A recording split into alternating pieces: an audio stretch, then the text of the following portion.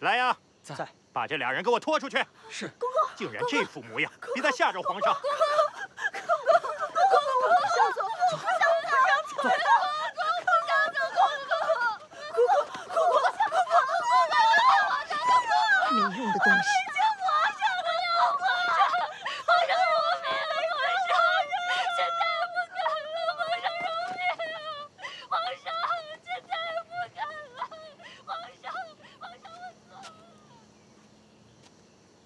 这位姑娘故意装疯卖傻逃避选秀，按律以欺君之罪论处，希望各位姑娘引以为戒，不要触怒了天爷。是。进。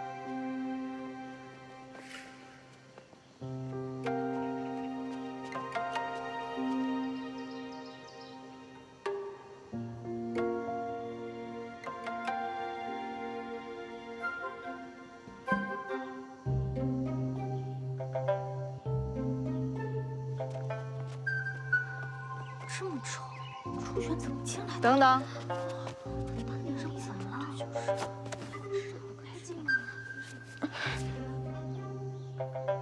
这种法子竟也想得出来，莫非长了驴脑子不成？都给我瞧好了，这种瞒上欺下的行径是要被满门抄斩的。都打起精神来，若有明知故犯者，打死不论。是是，拖下去。姑姑，姑姑，姑姑错了，姑姑。你怎么了？痒。殿前失仪可是要受罚的。姑姑，我新班选怕是犯了，您能帮我弄些蔷薇香来吗？这一时半会儿的，我去哪儿给你找去？姑姑，你看那儿就有蔷薇花，您帮我采摘些来，我捻一捻，抹上就好了。就你事儿多。谢姑姑。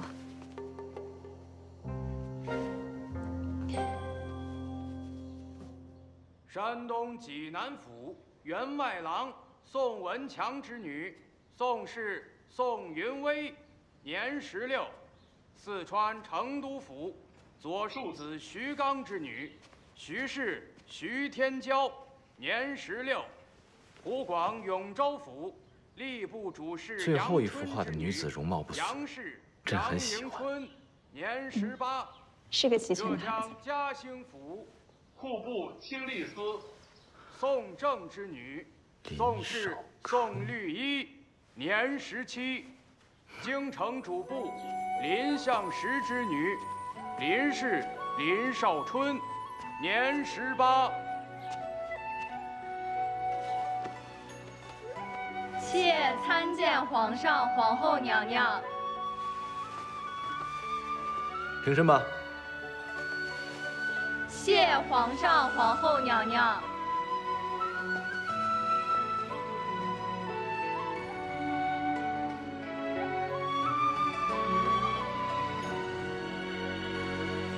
都把头抬起来。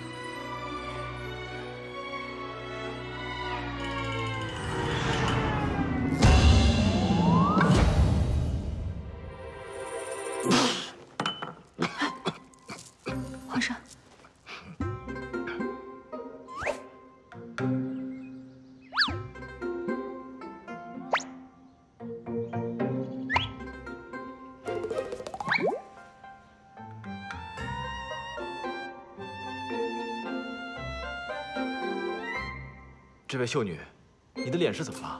怎么肿成这样了？回皇上，妾自小有春癣，遇热便如此。只要远离花粉，休息一程子，便能同画像上一模一样了。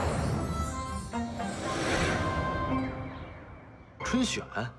那对什么花粉最忌讳？回皇上，妾对所有花粉都忌讳。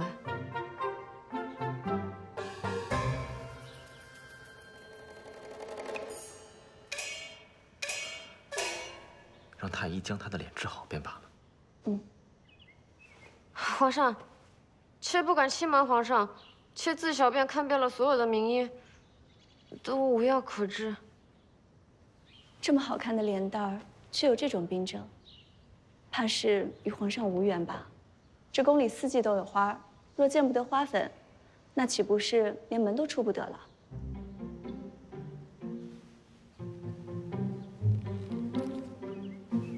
遇到花，就这样。皇上想日日面对这样一张脸不成？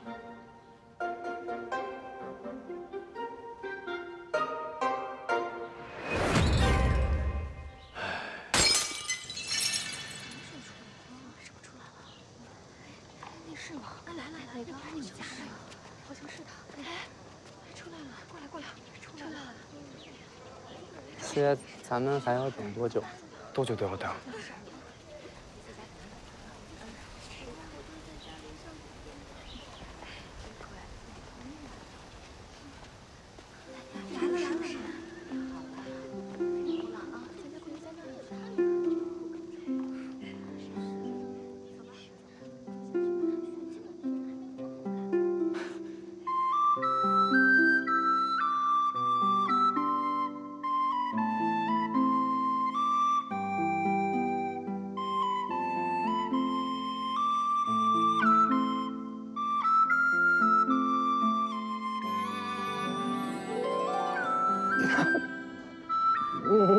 我就知道你一定有办法的。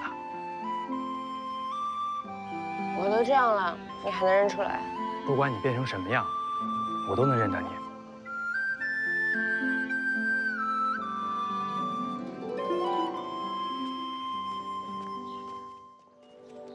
下。好。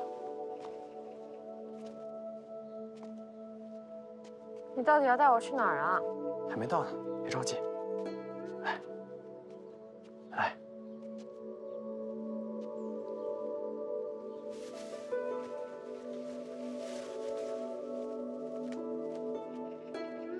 看看，可还是你记忆里的模样？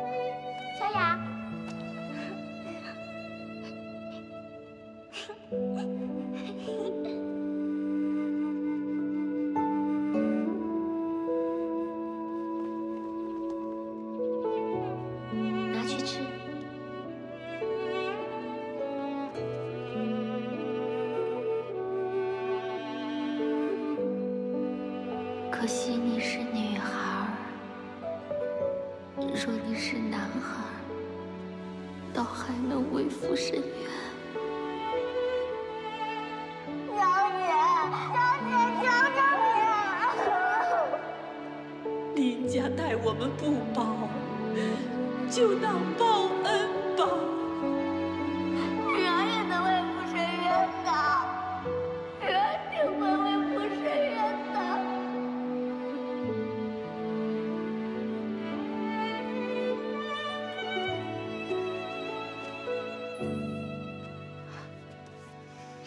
皇上将宅子啊赐还给你们了，常嬷嬷也记得各处的布置。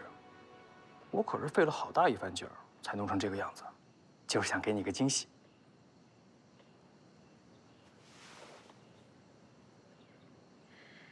难怪近日常不见你，原来你在筹备这些，真是难为你了，瞒得滴水不漏。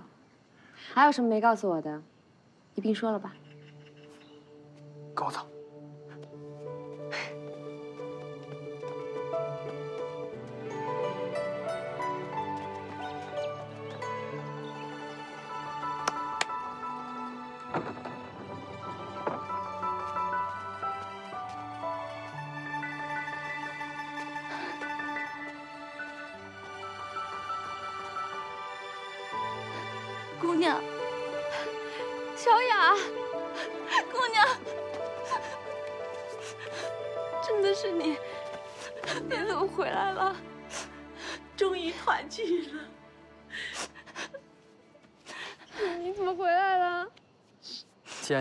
然已经沉冤得雪，当年的误判也应当更正。为此殒命的人无法复生，流放的却可回到原籍。我知道你一直惦记这事儿，苦于无法完成。如今我替你办妥了。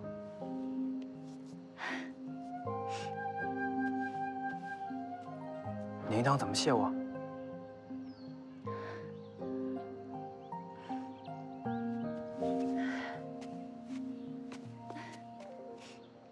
那你想我怎么谢你啊？我担心你无以为报，莫如以身相许吧。不正经。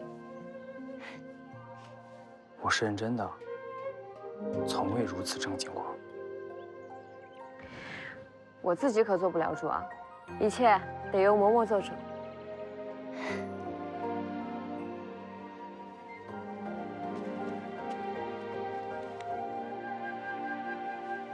嬷嬷，这回总可以成全玉老了吧？四爷，哎，嬷嬷这是干什么？快起来！四爷，你对我们林家有再造之恩，如今老爷洗清了冤屈，我的小雅也回来了，连当初被查抄的府邸，您也照原样重给了咱们，可还有什么可说的？我愿你和我们姑娘能长长久久，我要给四爷立一个长生牌位。祝四爷福寿绵长！快起来！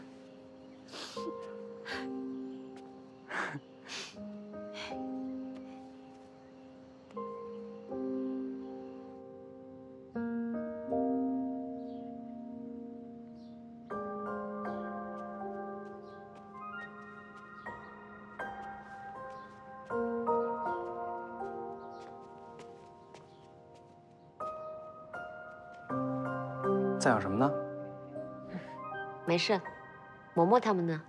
在厨房忙活呢，说要做你最喜欢吃的桂花圆子。桂花圆子是我娘最拿手的点心。放心，以后有我。嗯。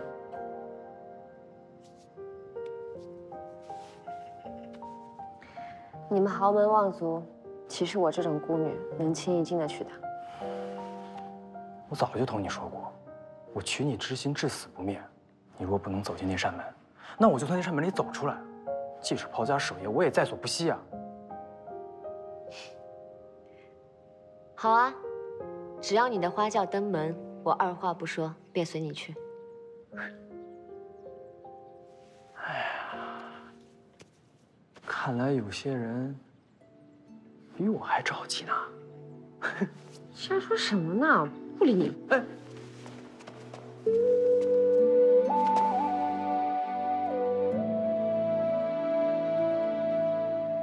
少春，我不知道该怎么说我的感觉，但是自从我遇见你，我的心里眼里就只有你。你笑的时候，我比谁都开心；你哭的时候，我比谁都难过。恨不得把全天下最好的都给你，可是我又恨自己没有能力。我怕我穷其一生都不能做到我想为你做的事情，但是你相信我，我会尽力的。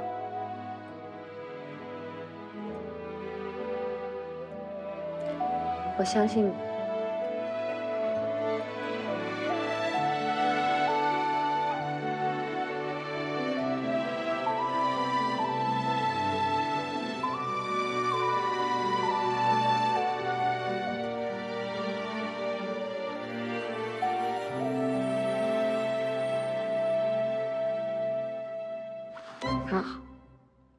我虽父母双亡，但也是正经人家的女儿。你没有三媒六聘，恕不能从你。哦，对对，是我造次了，我这就回去禀明父母。你等我的好信儿啊！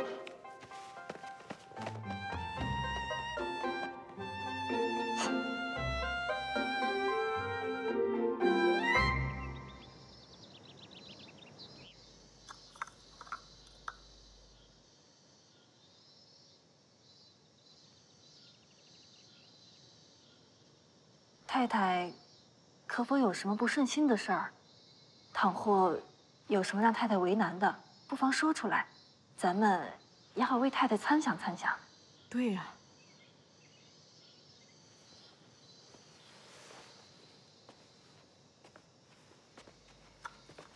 四哥到底是让我不省心啊，千辛万苦破了个案子，本以为他是为了建功立业，闹到最后竟是为了一个女人。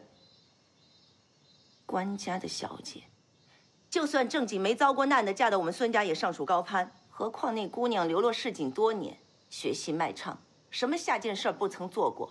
太太说的是，可是爷们儿就是喜欢那样的狐妹子。我看四哥快被他勾得魂儿都快飞了，这将来要入了门，那府上还有什么体统可言啊？让他死了这份心，有我在，进不得我们孙家的门。太太消消气。见过太太、姨娘和三位嫂嫂哥儿回来了？啊。呃忙到这会子，想是饿了吧？哎，货郎，快带四用些果子去。啊，是四爷。等等，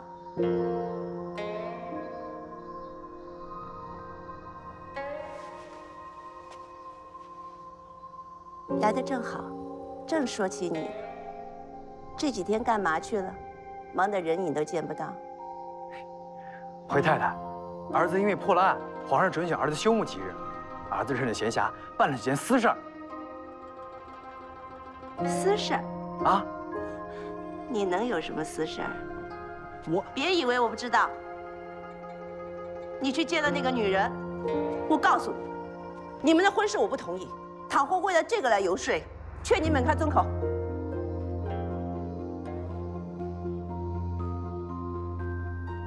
那我也和太太交个底儿，除了她，我谁都不娶。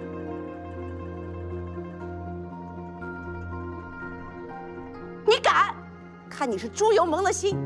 你要是敢娶她，你就越线用绳子勒死你老子娘。今后你就是霸王，这家里没人再管你。太太就不能成全儿子吗？我和他两情相悦，太太非不让我娶她，难道非让我难过一辈子，太太才高兴吗？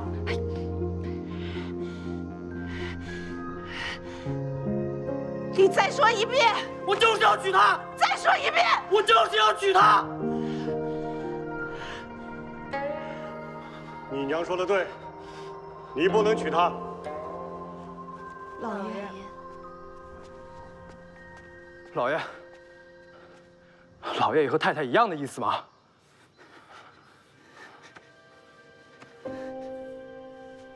随我来书房一趟。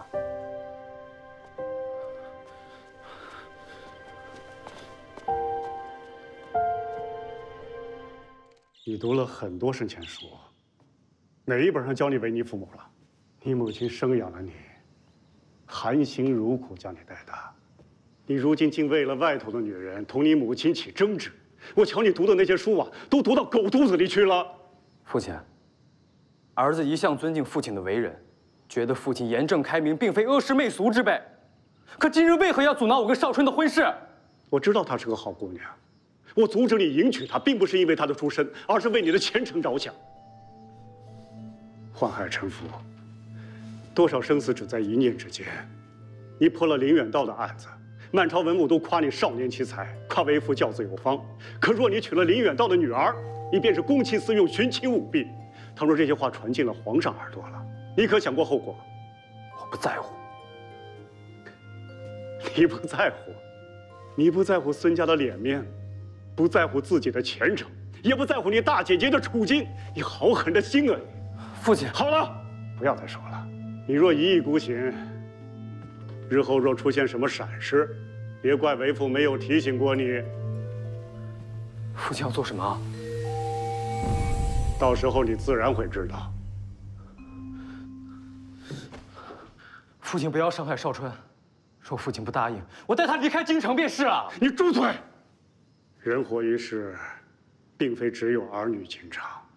你如今长大了，入朝为官，到了光耀门楣的时候，乌鸦尚且知道反哺，你呢？父母养育了你，教你读书习字，就是为了让你有朝一日忤逆父母，同外头的女人私奔的。你这么做，置你父亲于何地？置孙家的列祖列宗于何地？你若还有良心，就好好的自省吧。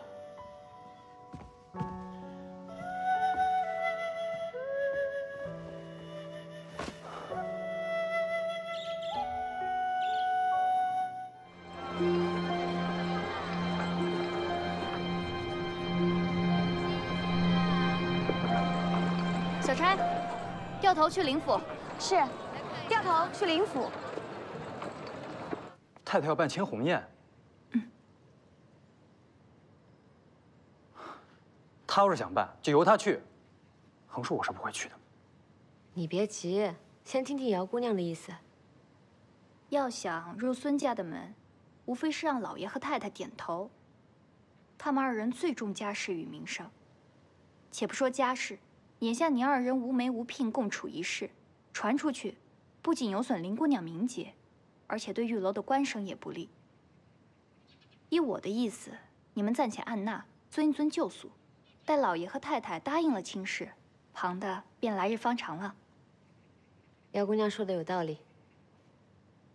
好了，天色已晚，我该回去了。你们不用送了，赶紧先想想接下来该怎么办吧。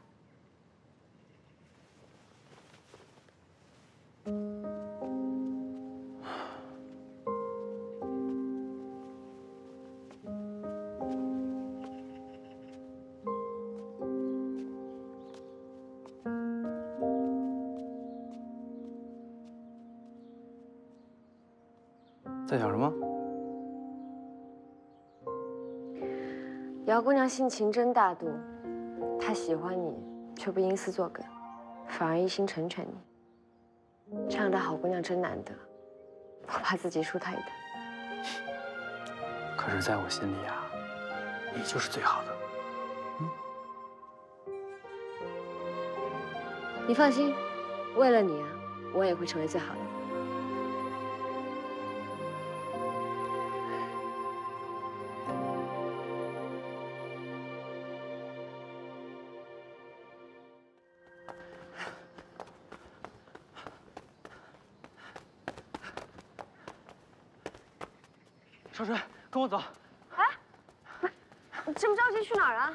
见我干娘，她从小对我最好了。我同她说好了，明日的千红宴让她带你进园子。哎，那你也得等我输了妆再见人吧，蓬头垢面的，岂不失礼？你要的东西，干娘英英都帮你打点好了。待会儿见着干娘，她会把太太的喜好、习惯都告诉你，到时候你要让她说去做就好了啊。哎，怎么了？玉楼，我知道你为了我们的婚事劳心劳力，可我总觉得这样不是上上之策。我的脾气你也知道，眼下纵然改头换面得了你母亲的喜欢，将来也必有令她失望的时候。那时候我又该怎么办呢？倒不如现在就坦坦荡荡的好。我明白你的顾虑，这也是权宜之计嘛。你就当为了我，好不好？好不好嘛？就一次，嗯。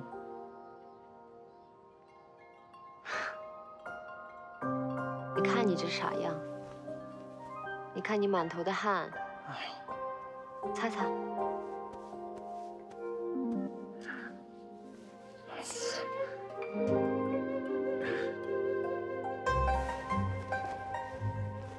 这套，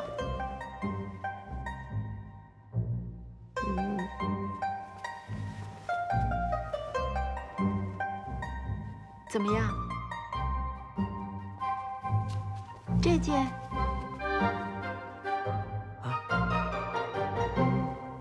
这套合领短袖衫、交领琵琶袖，加上西兰马面裙，是玉楼母亲年轻的时候最喜欢的款式，试试吧。这衣服裙摆太大了，走路行动很不方便。我还是穿我身上这套吧。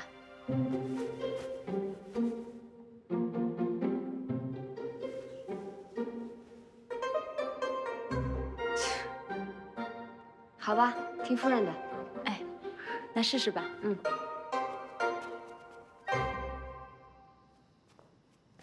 姑娘原本也是官家小姐，行止定然无可挑剔，只是这些年受了许多苦，怕一时适应不了。不打紧，多慢慢练习几次便好了。是。真好看。哎呦，我的哥，你如何还在这里呀？这里是姑娘闺房的事儿，与你并不相干。快下去吧。那一切就有劳干娘了。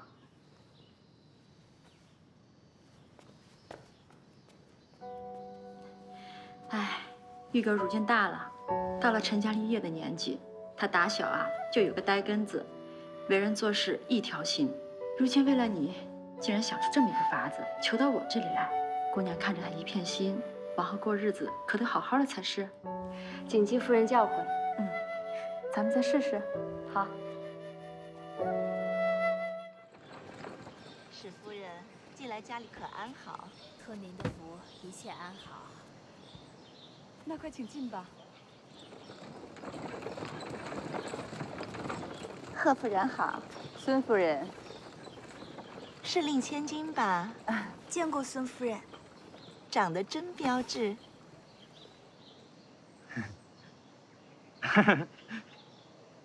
啊，梅雨间，越发像贺夫人了。是啊，还是小孩脾气呢。这不，非央着我来瞧瞧孙夫人办的千红宴。那还等什么呀？快请进吧，引夫人、姑娘进园子，仔细伺候着。是。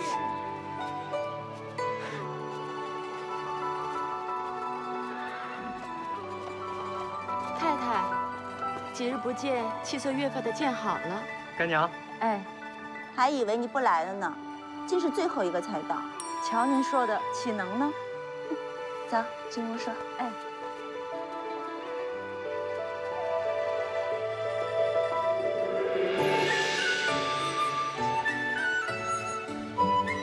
我正想找个人说话呢，你就来了。看在咱们儿时的情分上，这会子可要在我这院子里多住几日才好。我家老爷治世以后，一向深居简出，连累的我呀也憋闷得慌。听说你今儿举办千红宴，不用你请，我也是要来凑热闹的。快，快坐下说。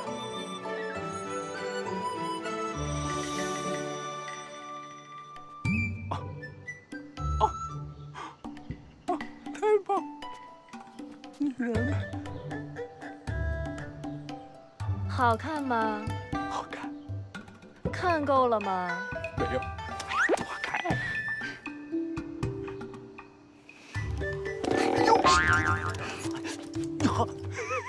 奶奶。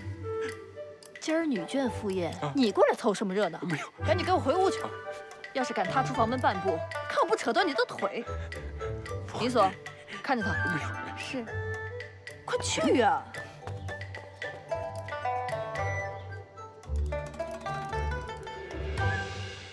哎，我听说你新生了个干闺女。嗯，少春过来见过太太。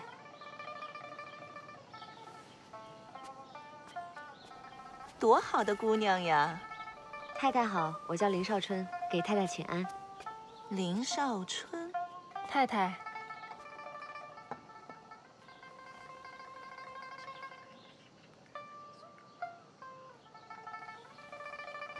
下去吧。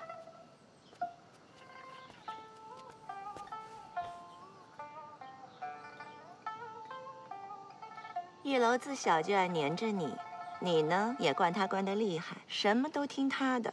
我记得小的时候，什么猫啊狗啊，你替他养着也就罢了。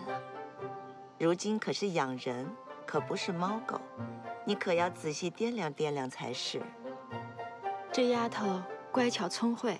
我瞧着是个好的，最要紧一桩，玉哥喜欢。没错。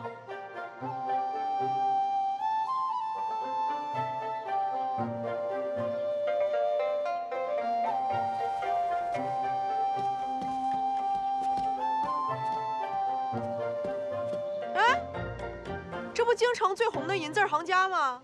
什么是银字行家？就是说书的行家。好。我要听故事。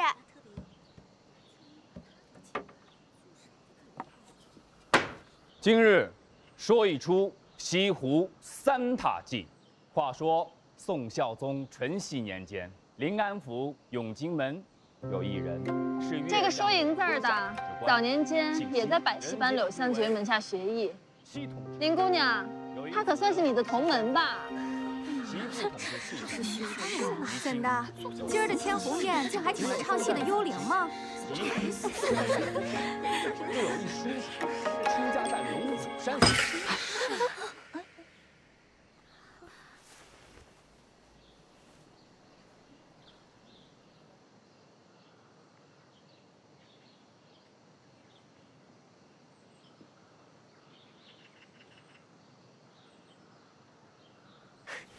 来，我敬大家一杯，我敬大家一杯。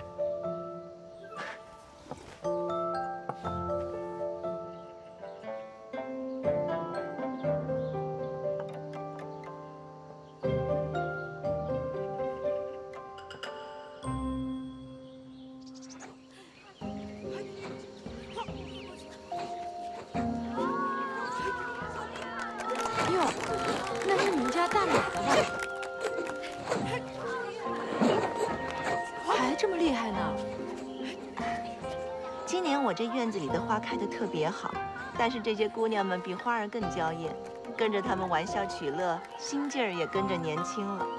可不是嘛！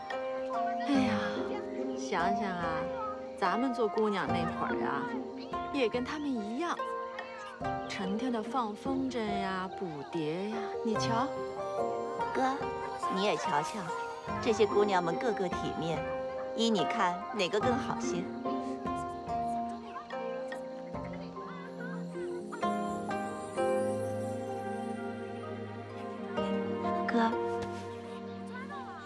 听到母亲在说话？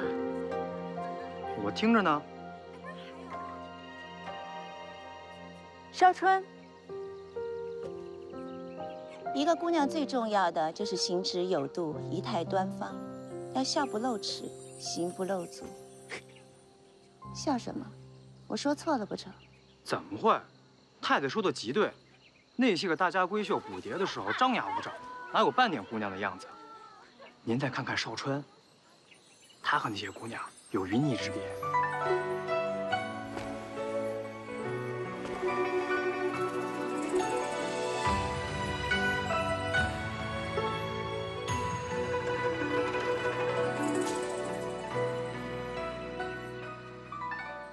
太太，干娘，嗯，我们到那边去看看吧。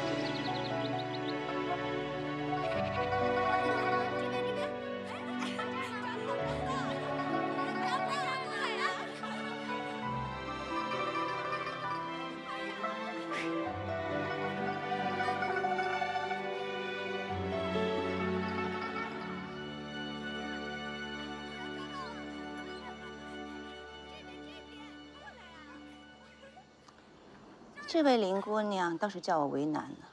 本想挑挑她的错处，可她处处都比别人做的要好。太太，她在戏园子里厮混那些年，惯会做官样文章，您怎么还信她的？这人装一时尚可，装一世断乎装不成的。您就瞧好吧。那你说怎么办？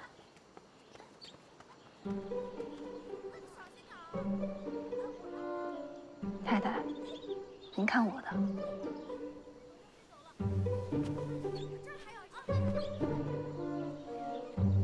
来来来，姑娘们都过来，来，快去吧。你过来。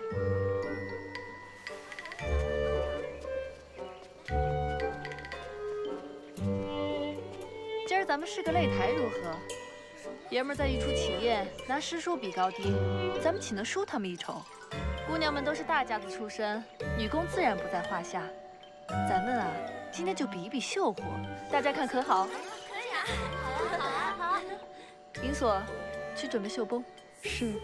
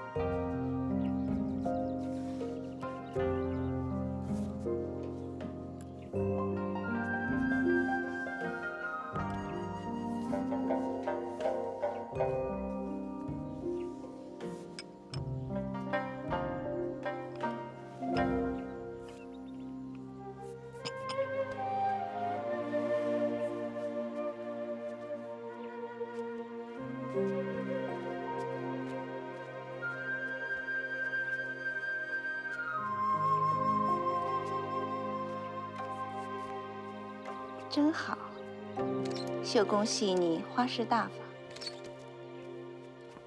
太太，这个更好。是啊，这是网绣的手法，不是一般技艺能够做得到的。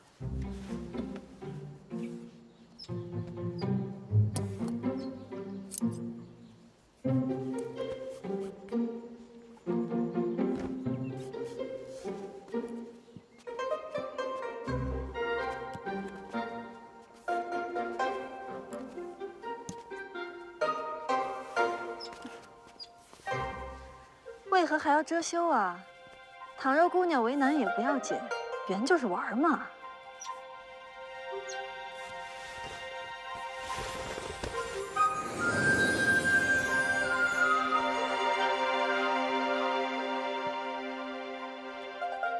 哇，还从未见过绣的这么好看的百花图呢！哇，是啊，这么短的时间里是怎么做到的？做针线，做绣活儿，是为了磨练你的定性。学艺切忌心浮气躁，人能定下神来，一只脚才算踏进了师傅的门。是师傅。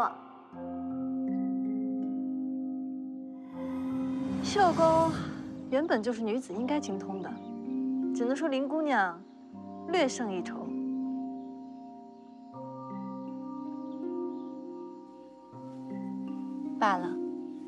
走吧。太太，请留步。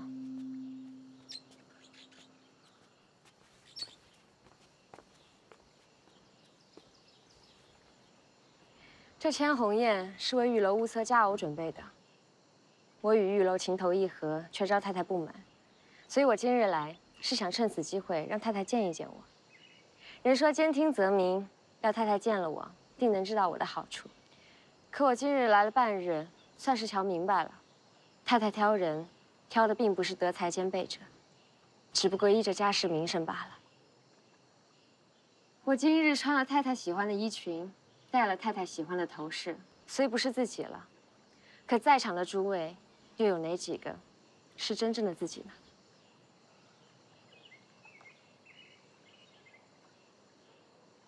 此话怎讲？先说这位白姑娘，面上文静娴熟，可上月刚打死一个丫鬟。这位宁姑娘，指使别人往继母被子里放蛇，继母还能活着，也算是造化。还有这位史姑娘，分明已经有了心上人，却被父母逼迫来此，真是可悲可叹。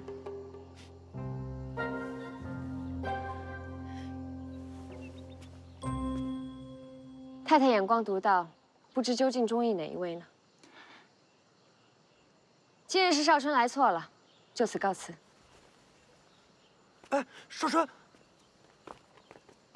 少春，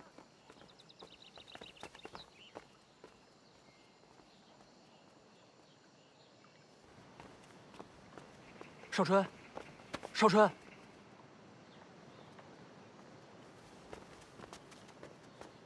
说好了今儿来讨太太的好，你先头的话，实在叫在场众人难堪了。连你也怪我？不是，我是觉得你厉害，我是头回见到有人把太太说的哑口无言的。以后咱们成亲了，你不会也这么对我吧？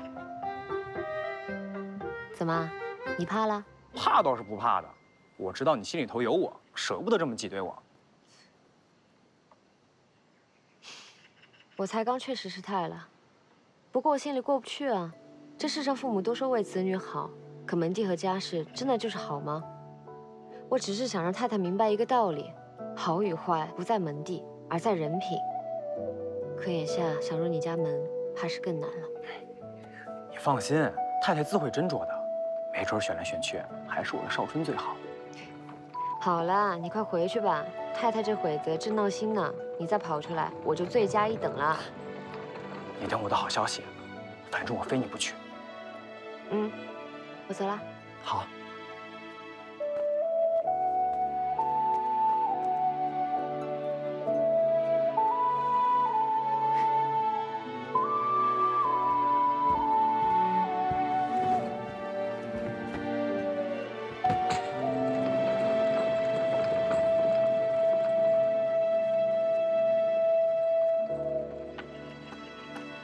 这位姑娘有胆！才听他一番慷慨陈词，大有不让须眉的气势。我一定会娶她进门的，感觉好像不太容易呀。世上无难事，只怕有心人。我想做到的事儿，没有人阻止得了。道理是这样的，可人生短暂耗不起，慢一刻就少一刻，拉拉扯扯，即使水到渠成，也会对彼此造成伤害。到时候岂不是得不偿失？哎哎！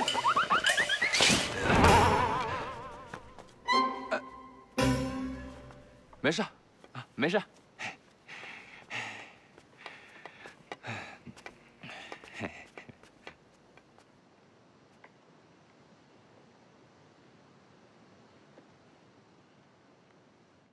太太，快别气了，就一个野丫头，何必把她放在心上呢？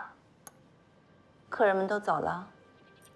太太放心，都依礼送走了。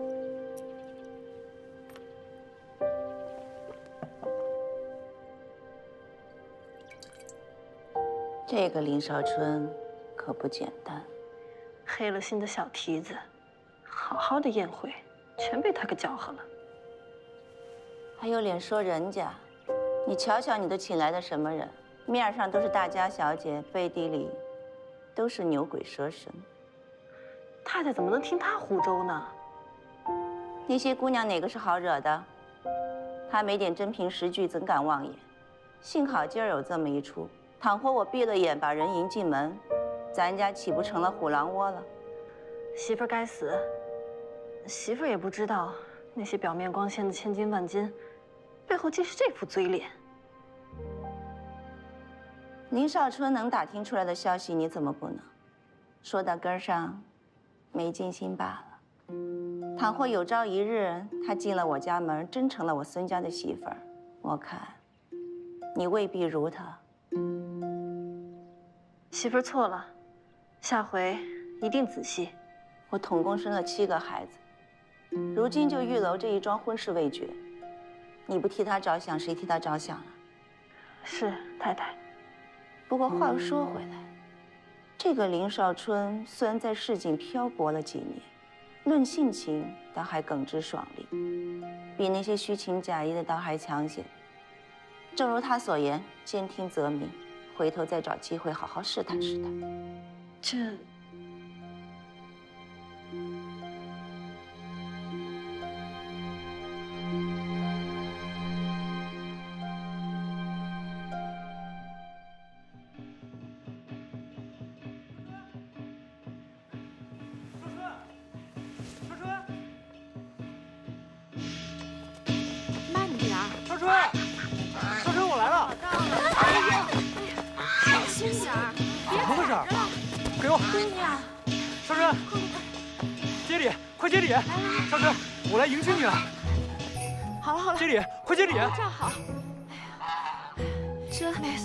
是干什么呀？快，快拿走！少春，我来娶你了。干娘答应当咱们的媒人，啊，现在有媒有聘，万事俱备，你什么都不用收拾，人跟我走就行。你父母答应了？我直接把你娶进门，到时候管他们答应不答应。那怎么行啊？无父母之命便是银分啊！我倒不是在乎这些虚礼，可你是朝廷命官，若有人因此参你一本，会断送你的前途，有损孙家颜面，到时候我就成了千古罪人了。哎呀，我我怎么没想到这层啊？干娘，我知道您心疼玉楼，但是您不能总这么惯着他呀。他若是个白丁倒无妨，可他如今有功名在身呢。是是是，我真是糊涂了。他一求我，我这心就软了。玉楼，听少春的，这事儿你从长计议。你过来。哎，眼下让老爷太太答应，怕是很难。可是我又一门心思想要娶你进门。我原想着，只要咱们把亲事说定了，横竖老爷太太不能把你送回来吧？你如今还不明白吗？两家结姻不单是咱们两情相悦便够的，你的官声要紧，孙家的颜面要紧，老爷和太太能不能容我更要紧。可是我答应你，非你不娶。啊？非你不嫁。我也一定会找到法子，让他们接纳我的。你真的有把握？玉楼，你相信我，先回去。我保证，在不久的将来，我们一定可以厮守在一起，永不分离。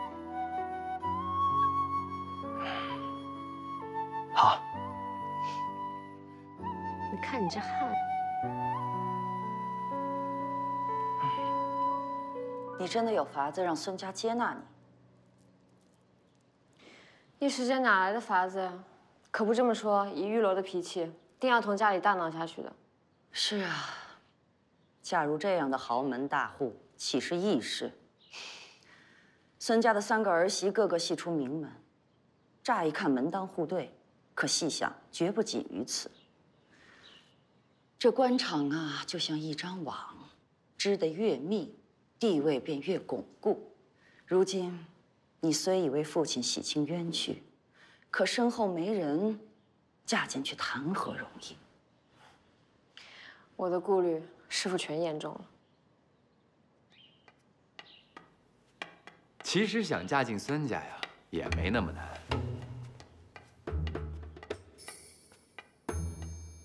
你。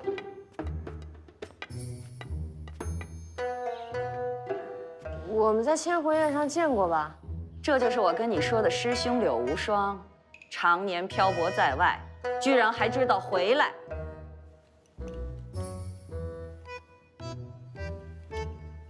师傅，一别多年，我每日都在想您啊。贫嘴，坐吧。我扶你，师兄，这儿，小心，小心。对，就是这儿。我入师门这么多年，竟从来没见过师兄。你来前一年，他便出师了，大概也就十五岁的光景吧。因模仿任何事物的惟妙惟肖，足以自立门户。哎，之后啊，就凭着他的良心，偶尔来看看我。哟，妹妹今日衣衫上的金盏花真是艳丽呀。你不是有眼疾吗？怎么知道我衣衫上有什么纹样？混出来的。胡说！别听他胡诌，他是装瞎。装瞎？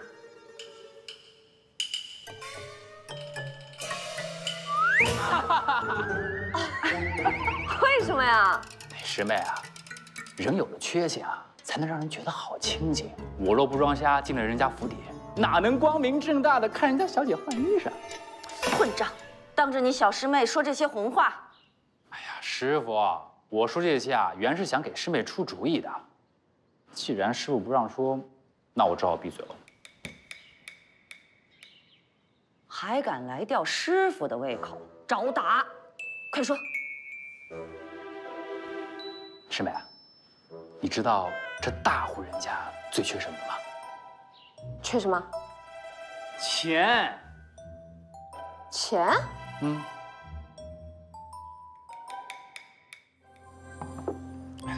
师妹啊，一般门户越大，日常花费就越多。哎，不仅官场上人情往来要打点，还有那些筵宴酒席、出入排场要装体面、图风光，哪样不要花银子？可是朝廷俸禄又有多少？于这些花销来说啊，杯水车薪罢了，只能靠皇上的恩赐和自己庄上的租子维持。所以，好些个小姐奶奶都在外面放银子钱。哎，妹妹，嗯。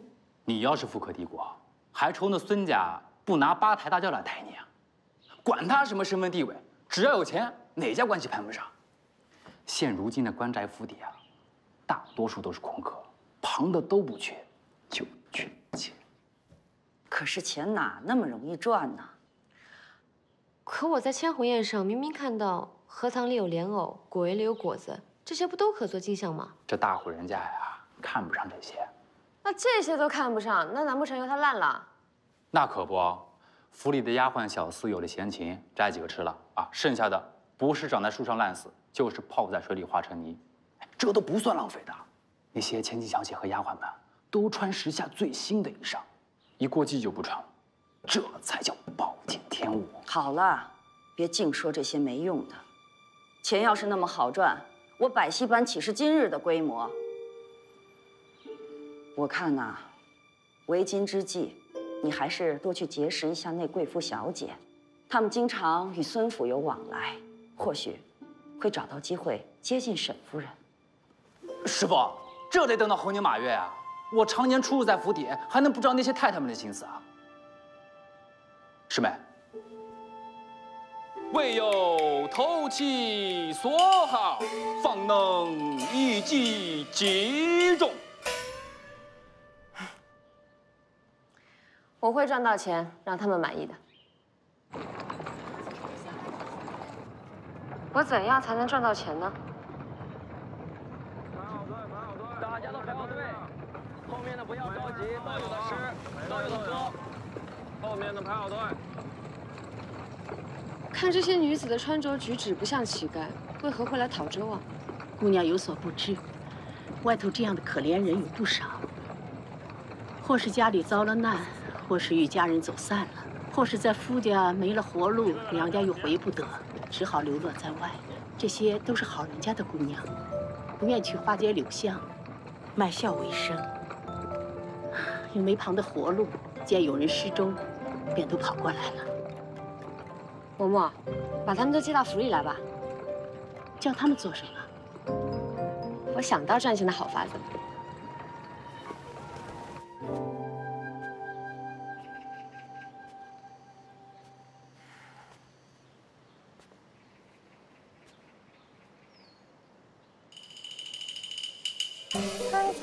是谁？又玩小孩子把戏？那我要娶你，你又不肯嫁给我，太太那边又僵持不下。我要是不想点法子逗逗你，我会急得发疯的。我已经想到法子了。真的？什么法子？来了。姑娘。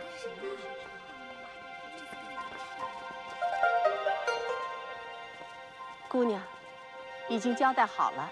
好。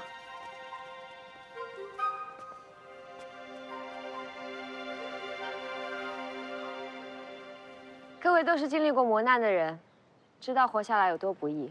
我瞧大家都是好人家出来的，有气节，不愿舍脸卖笑。既这么，我给大家谋条生路，愿意的就留下，不愿意的也可自行离开。你们走下来，你怎么走？那走了也没地方去，那也总比饿着强。好，嬷嬷，带他们下去准备准备。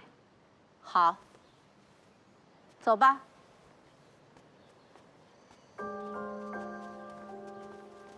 你这葫芦里卖的什么药？嗯，哎你就再容我几日，到时候自然名利双收，你爹娘便无话可说了。真的？你连我都不相信啊？哎，不过我话说在前头啊，我这边呢不用你掺和，你只管安心的当好你的官，在家里呢也别同老爷和太太闹僵，倘或到最后因你而功败垂成，我可饶不了你。好，都听你的。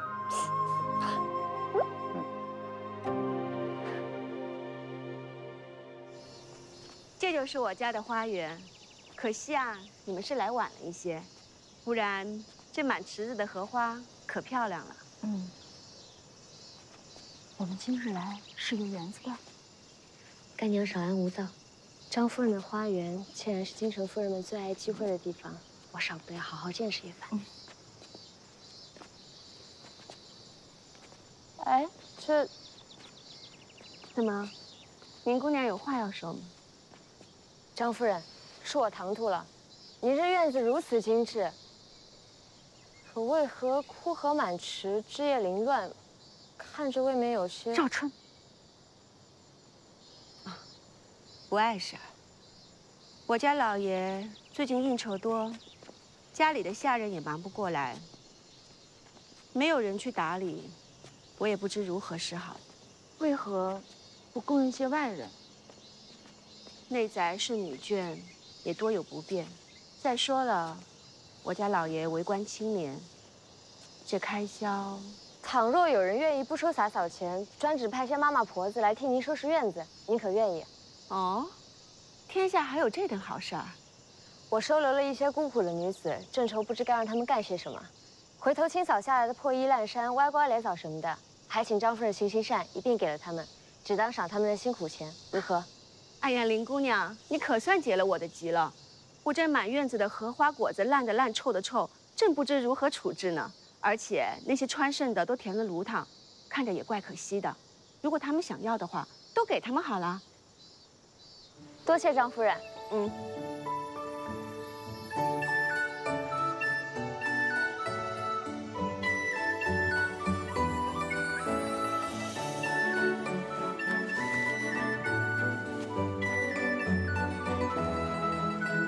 把枯叶都清理掉，莲藕都收好。是。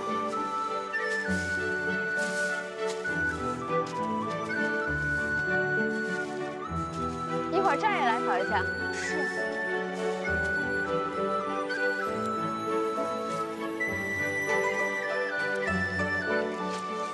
把烂果子都挑出来扔掉，一会儿再给果树浇点水。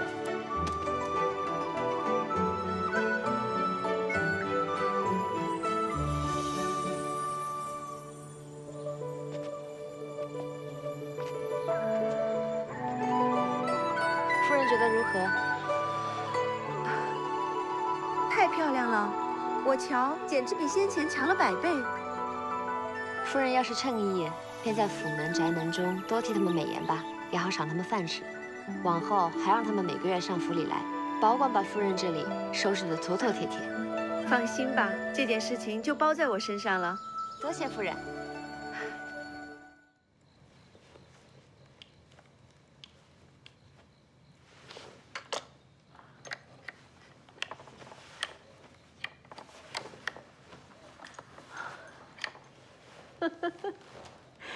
姑娘道喜，那些莲藕莲子啊，都出了手，换得了许多银子。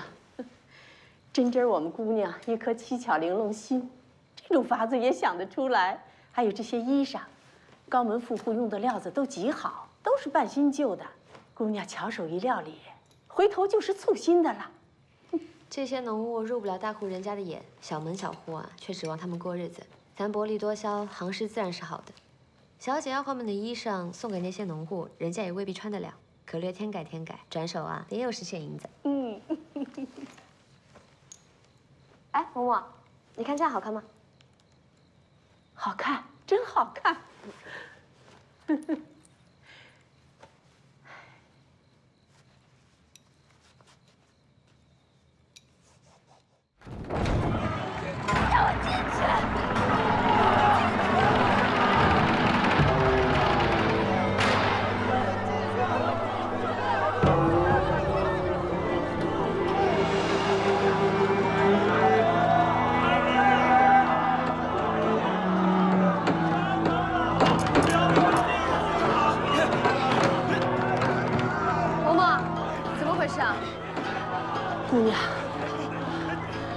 受了涝，灾民们都涌进京城了，专找有钱的府邸投奔。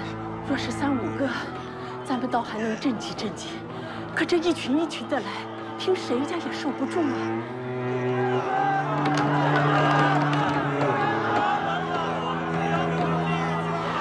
这可怎么办呢？这样，嬷嬷，你去看看账上还有多少银子，拿出银子办一个义社，再把府里多余的空房都腾出来，给灾民居住。好容易攒下的银子，本想给你做陪嫁的，银子不重要，人命是最重要的。开门吧。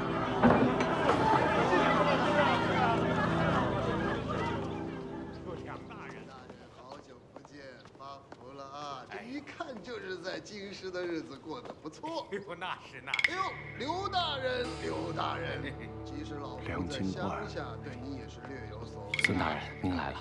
他怎么在这儿？自从您上次参了他一本之后，皇上就让他回去了。这些年也没什么消息，怎么突然就回来了？刚刚才知道，他主人上了一本，写的正在我册。皇上龙颜大悦，便让他官复原职了。毕竟永嘉八年那场灾情是他控制的，皇上信他。看来他是要安排人去大干一场了。不，他没有安插任何人，反而举荐了您的儿子孙雨楼孙大人。许是外头传言，您二位不和，他想借此破除谣言吗？没那么简单吧？都是为朝廷尽力。有，孙大人。哎呦，哎哎，梁大人，哎，梁大人，好久不见呐！真是好久不见呐，孙大人。想死老夫了。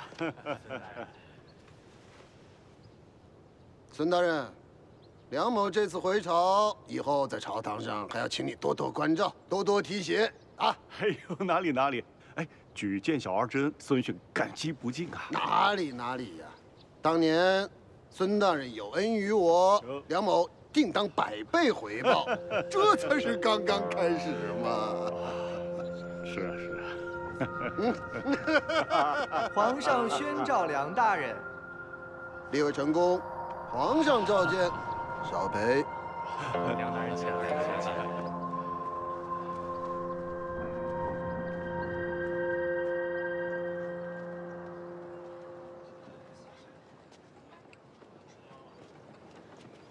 你把身家都掏出来赈济灾民了，真是功德一件。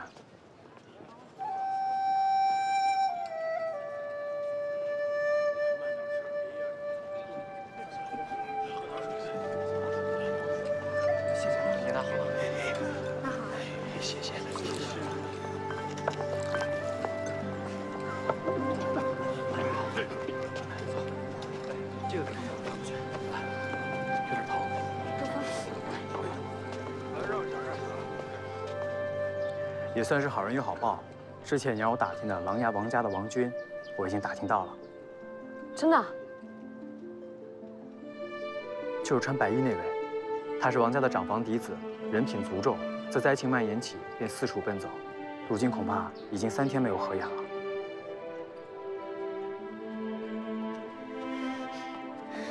小雅，别叫了，由他去吧。小雅自小带我受苦，如今推己及人，很愿意帮助这些灾民。真是个善良的姑娘。对了，你让我打听王军做什么？前些日子，小雅同我说，她特别佩服一个叫王军的男子，明明是家财万贯的少爷，却执意要来医社做苦力。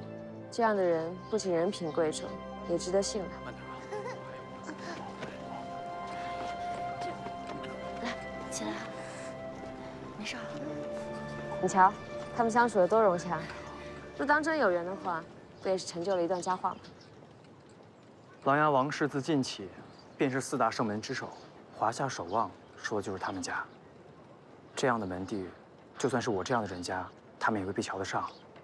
你这回给自己的难题可不小啊！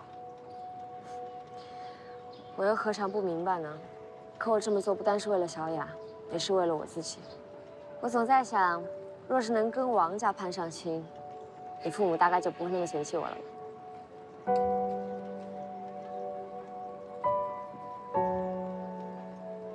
对不起啊。你傻了？做什么要说对不起啊？你为了和我在一起付出了这么多，我做这些又算得了什么？我是怕难为你，我要离开京城一阵子，放你一个人在这儿，我也实在放心不下呀。你要去哪儿？皇上命我去南方赈灾，在水涝区域修建河堤，疏以浚淤。等我立了大功，我就求皇上赐婚。等皇上降旨，就没人敢反对我们了。好，你去吧。朝廷的事第一要紧。我看那些灾民流离失所，实在是可怜。早日治好水患，早日让他们重回故里。我这边你不必操心，我在家一应都好，盼着你旗开得胜，早日归来。好男儿志在四方，我定不辱皇上所托。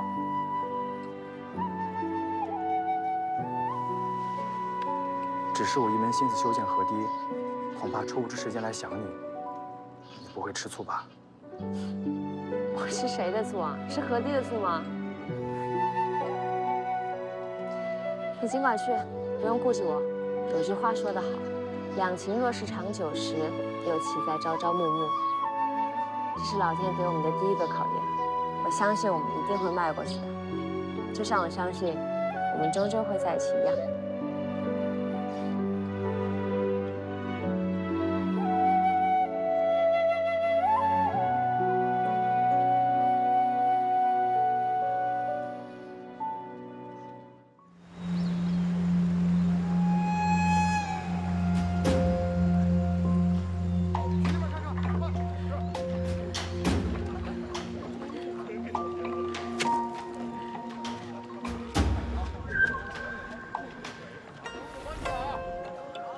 水土之功，料物最急。河工所需的流尾桩木、土方石子，本应彩云贮存于河岸，以备急需。陈大人，这些料物如今何在呢？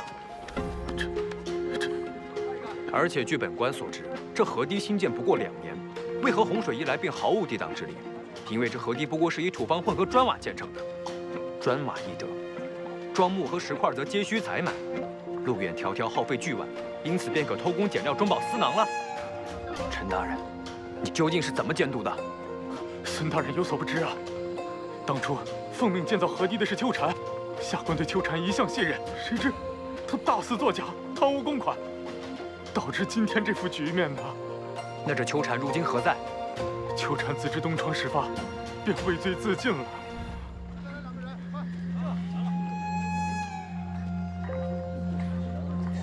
眼下追查于事无补了，当务之急是多备料物堵住漫口，赶在洪水再次来袭前筑成河堤。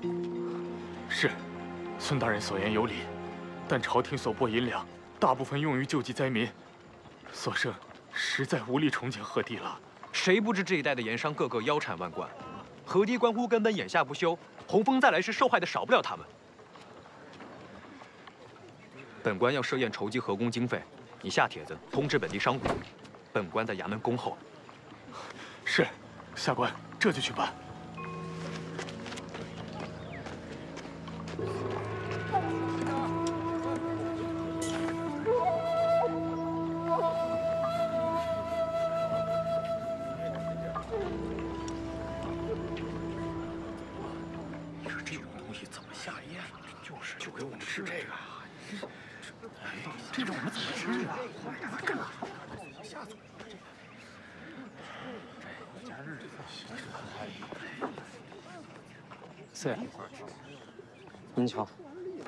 捐的银子加起来不到五千两，还不及这帮人平时做一趟东道的钱。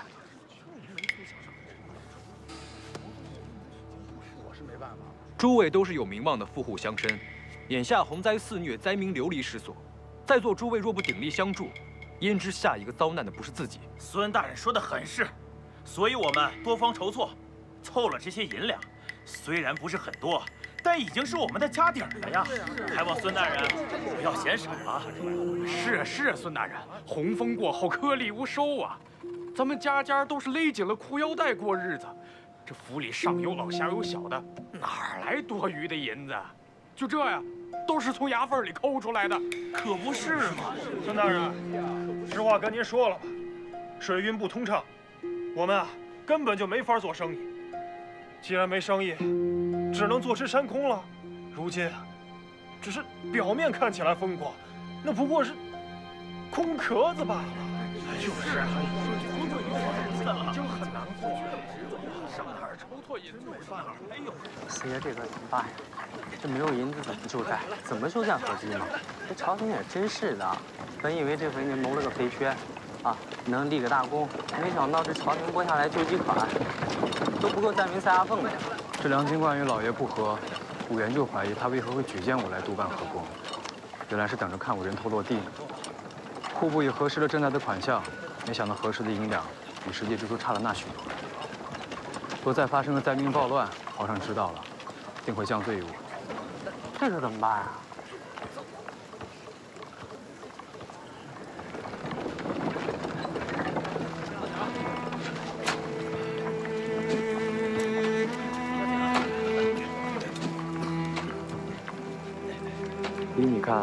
那帮人当真没钱吗？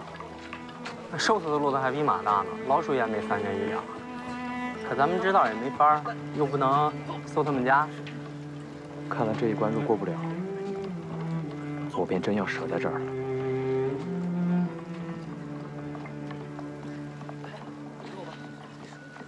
此次赈灾前，我派人查探了灾区实情，可底下人被人收买了，这是实际灾情原声呈报皇上的。现在朝廷拨下来的救济款杯水车薪，玉楼身陷险境。若发生了灾民暴动，那皇帝必定认为玉楼私吞公款，那可是死罪啊！我可怜的玉儿，这可怎么好啊，老爷？来想想法子呀！办法就是银子。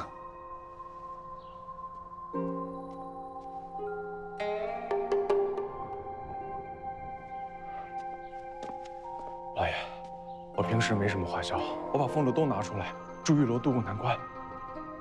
好儿子，把月红接回来吧。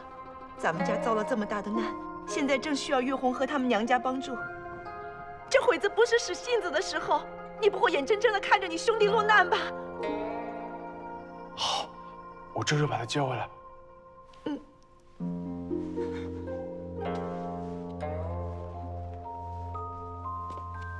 老爷，还有其他法子吗？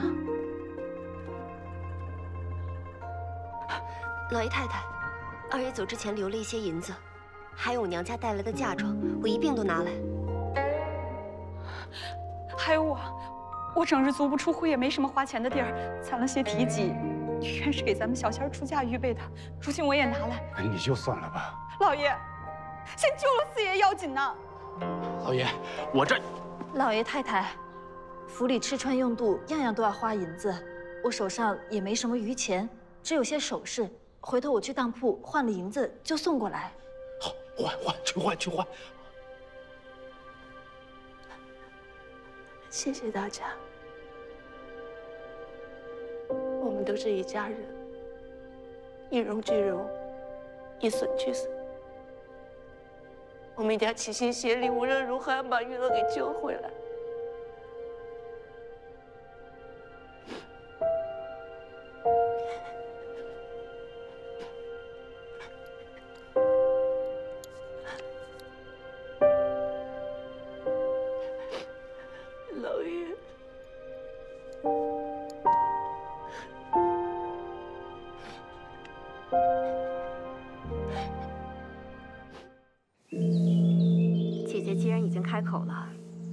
拒绝呢？不过三千七百两银子确实不是个小数目。你也知道我家的人家，不过就是做买卖的小门小户，我也只能尽力给姐姐凑到一千五百两。姐姐可别嫌少才好啊！妹妹这话真让我汗颜，我实在是没法子，遇到难处不找娘家人，我还能倚仗谁呢？横竖谢谢妹妹了。都是一家人，不说这样的话，姐姐。姑娘小心台阶。哎，这不是林家姑娘吗？士别三日，当刮目相看啊！她怎么了？姐姐，你不知道她吗？她原本啊是户部侍郎家中的小姐，后来父亲蒙冤，被流放到市井里，过了很多年的苦日子。后来林家冤情昭雪，这林姑娘重振家业，短短十日就变成了京城一大富户。听说前几日灾情严重，他还办了济善堂，广济灾民。如今呀，真是活菩萨一样的好名声。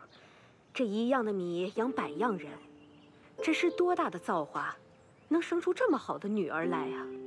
她一个姑娘家家，竟有这样的手段。姐姐可别不信啊，千真万确。要是我们哥儿有福气，能娶到这位姑娘，那日后的家业便不用再愁了。太太，马车备好了。姐姐，我们走吧。妹妹，我还想给玉儿去祈个福，要不你先回去。也好，那我明天就差人把银两送到你府上。那我就先走了。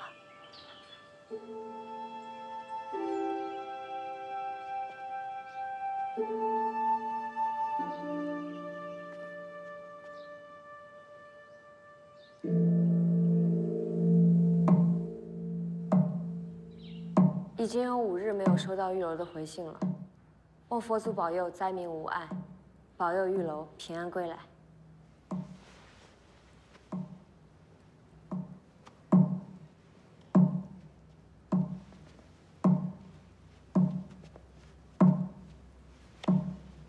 林姑娘，别来无恙。太太，赶巧太太今儿也来上香啊？你可是想问玉儿的消息？还请太太告知。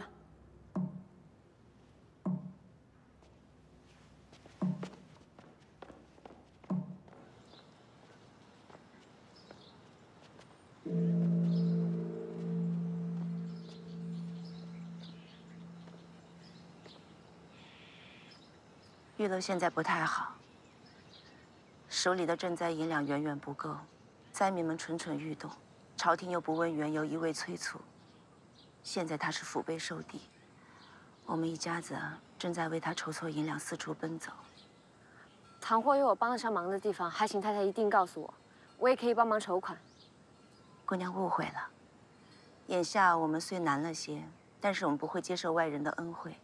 你既进不了我家门，又何必帮这个忙呢？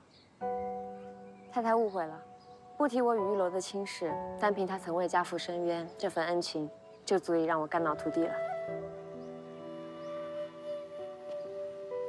没想到姑娘如此重情重义。其实玉楼的赈灾款，孙家尚有能力筹集，只是眼下我们遇到了一个麻烦。太太，请说，少春定会为您解决燃眉之急。开门！哎呦，各位爷，别别请，随便坐啊。今儿个这人还挺多的呀。来，各位爷，您先坐，先坐。快快快！给各位爷，快点！来来来，各位爷，滚！来来。各位爷，下注啊，下注！各位，既然都已经坐下了，那咱就早点下注，立马开局。下注，先下注。是谁说进赌场就一定要赌钱呢？难道你们赌场还有规矩，说不赌钱就不能进来吗？啊，这倒没有，爷，这是做生意。哎呦，各位爷，各位爷，干什么干什么？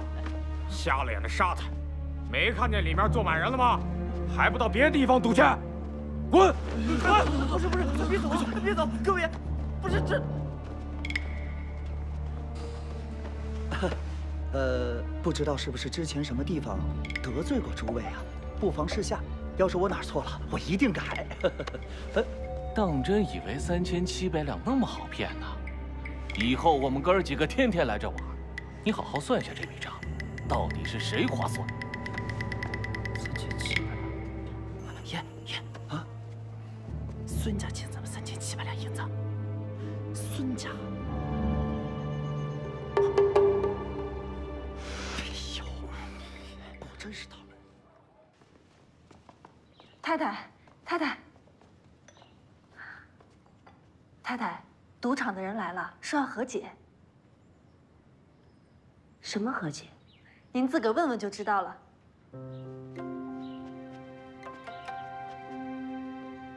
我们太太来了。太太，请您把那些人从我那厂子里撤了吧，撤了吧，撤了吧，太太。他们逢人就赶，您不知道，我最近的亏空。何止三千七百两银子呀，太太，您家三爷的账，我们都不要了，不要了成吗？您大人有大量，就饶了我们这回吧，饶了我们，饶了我们。这是三爷的欠条，太太您收好。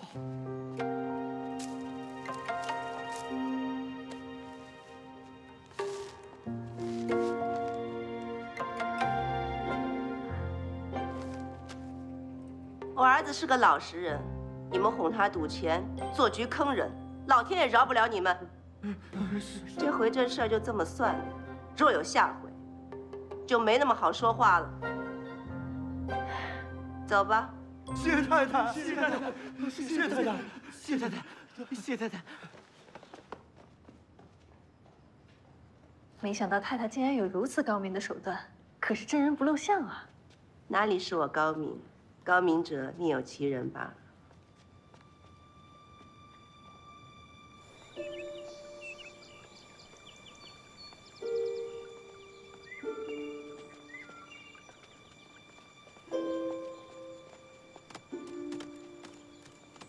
林姑娘，这回这事儿还得多谢你，我也没有什么可做报答的，只有请你们郭府帮着料理，也算是我的一点心意。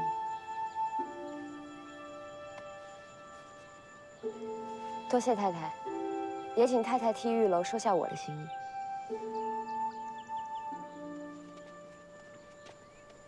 这是眼下我能筹集到的所有银子了，先救玉楼要紧。姑娘为何不趁此良机，要求我同意你和玉楼的婚事？我帮他，从来不计回报。若以此要挟太太让我进门，连我自己都会瞧不起我自己。我如今牵挂他，也顾不上别的。请太太看见我的心，不必担心我另有所图。真是个好孩子。不过你放心，等玉楼回来，我一定说服老爷同意你进门。多谢太太，此事咱们暂且先不议，我先告辞了。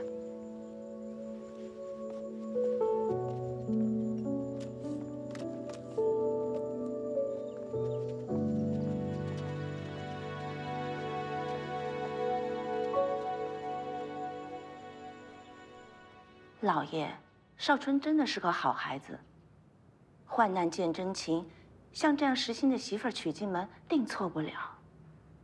咱们家下有三个媳妇儿，个个出身名门，紧要关头竟没有一个可以倚仗的。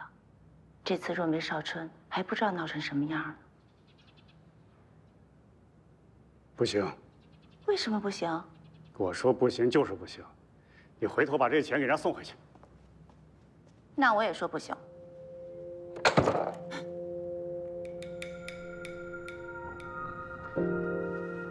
老爷，你别忘了咱家玉儿现在是什么样的处境。老爷，老爷，不好了，灾民暴动，四爷那头恐怕凶多吉少啊。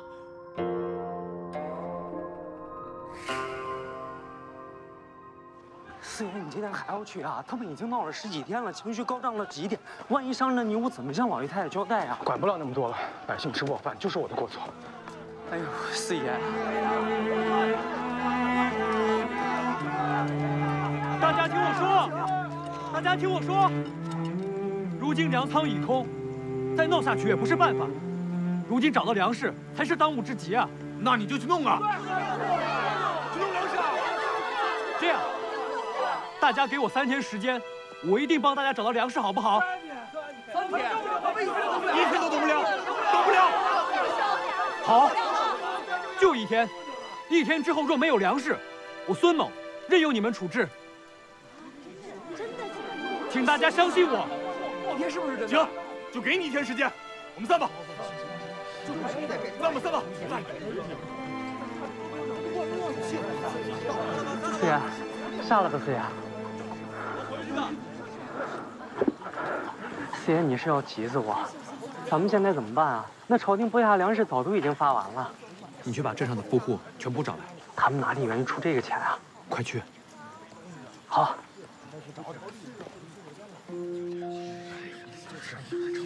现在这这怎么下来？下来原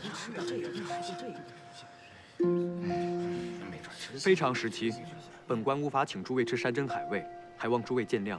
如今局势动荡，外头的情形，诸位也都看见了。唇亡齿寒，难道诸位当真打算袖手旁观吗？孙大人，上次我们大家都已经捐了家底儿了。是啊。眼下，我们全家老小是吃了上顿没下顿，你还要我们如何啊？就是啊，没有余粮了，没有余粮，还有余粮？就是啊。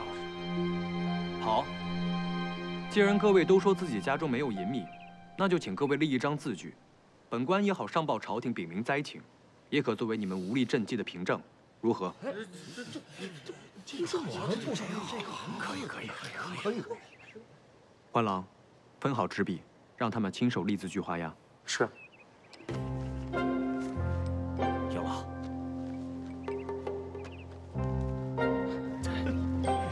就算是有灾民暴动，那第一个找的也是衙门，和我们什么相就是说，谁家还没几个看家护院啊？国家灾民再乱，乱不到咱们府上。快快！四爷，富户们能一一送回了，衙役也都准备好了。天灾频发，百姓流离失所，匪盗猖獗。本官先命你们挨家挨户搜查，捉拿强盗。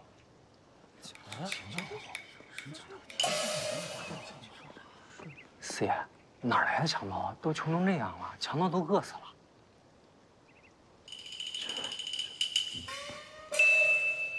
照我说的办。速去搜查。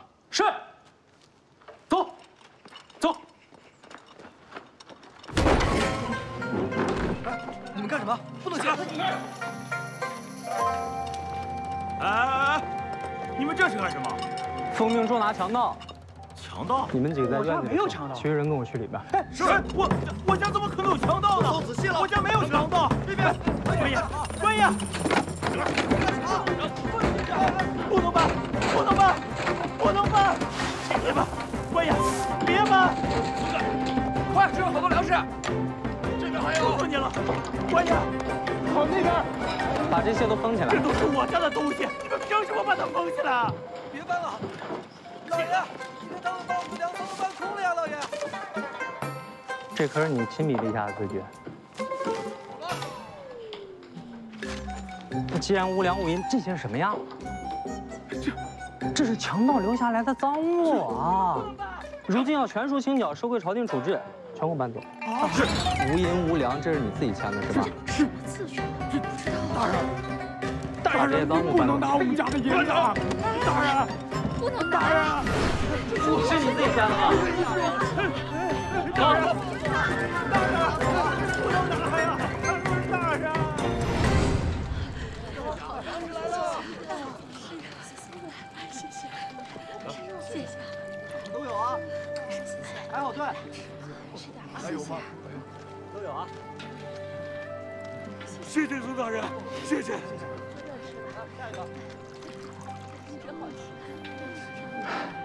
真是有惊无险呐！四爷怎么知道他们有钱有粮呢？今儿有宴请，特备了粗茶淡饭，可那些富户连看都不看一眼，可见是瞧不上的。既瞧不上，家中必定钱粮充裕，只不过是在我跟前哭穷，想要各安官火罢了。四爷真聪明。孙玉楼不愧为孙逊的儿子，做事雷厉风行，颇有孙大人年轻时候的风采，后生可畏啊！皇上过奖了，他能有今日，全仰天子之恩。孙玉楼奉旨抗灾三月有余，眼下河堤新建完成，灾民也已安顿，速召孙玉楼回京吧。谢皇上体恤。不过，臣更要感谢一个人。谁？若不是梁金冠梁大人举荐，我儿也没有机会大展宏图啊。这么说来，还真要谢谢梁大人了。这都是皇上您的福气，臣不敢当。皇上，臣有事启奏。走。臣要参梁太师一本。梁太师所报灾情不实。朝廷拨款与实际所需出入颇巨，以致孙嗣臣无法拿出银两救济百姓，险些酿成大祸。皇上，启禀皇上，这全是臣的那些属下，他们弄错了数目，臣又一时疏忽，没有亲自去核查灾情的真假，竟然险些令得孙阁老的爱子身临险境，实非臣的本意。臣真的是不知情啊，皇上。是啊，皇上。朕不问过程，只问结果。贾大人的话是否属实？皇上，贾逢源大人所说的属实。固然是臣的那些手下弄错了数目，但是臣一时疏忽而误报，臣罪责难逃。梁大人，你可知你的一时疏忽，险些毁了朕的一方领土、万千百姓、孙大人的爱子啊！老臣该死，老臣有罪。念在你昔日有功，又是朝廷重臣，罚你半年俸禄，下不为例。老臣谢主隆恩。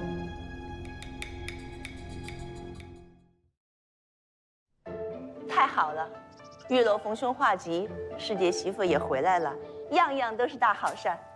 三媳妇儿，预备起来，等玉楼进家，咱们合家吃顿团圆饭，好好热闹热闹。是。不劳太太吩咐，四爷立功的消息一传来，我就已经预备下了。哎，真棒！你看看。就你聪明，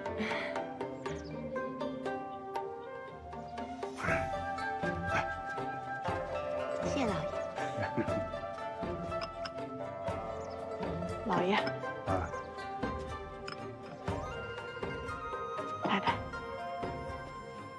老爷太太，是媳妇不好，不该赌气私自回家。你们放心，以后媳妇儿一定会好好孝敬你们的。这夫妻之间哪有过不去的坎儿啊？往后若师爷对你不好，大可来告诉我，我自会教训他。对，叫你爹收拾他。谢老爷，谢太太。快坐。哎。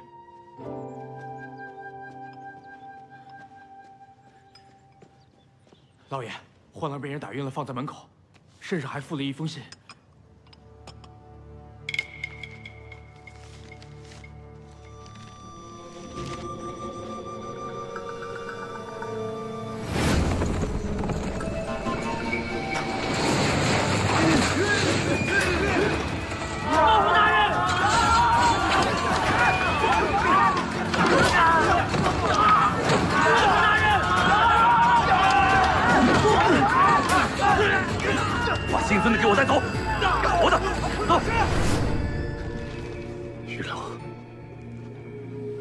叫人给掳走了。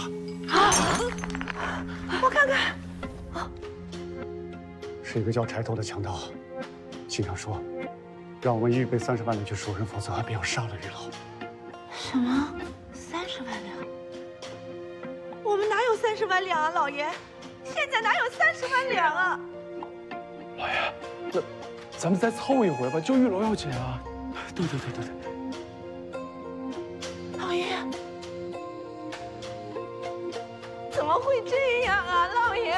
别哭了。让我想想，让我想想，这布局的人着实很多啊！若没有三十万两，我儿子就要死；若有了，他们一定会大做文章。至于我一个拿着朝廷俸禄的官员，哪里来的三十万两？定是一顶贪污的大帽子。让我想想。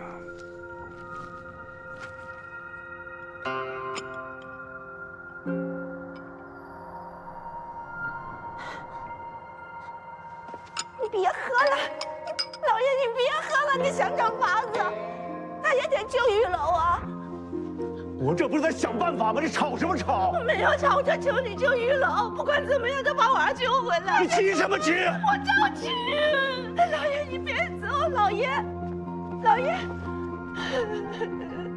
太太，怎么办呢？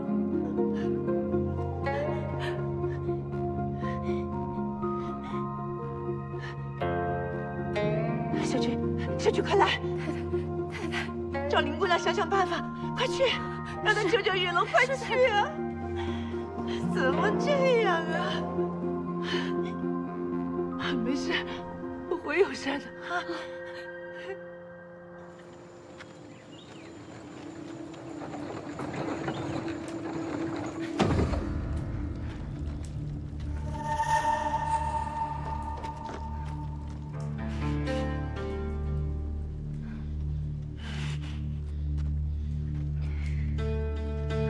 你们这里谁是当家的？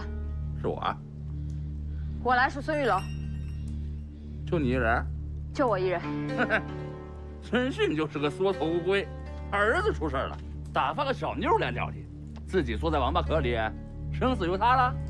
废话少说，收钱放人。呀，不错，让爷爷看看银子带够没有啊？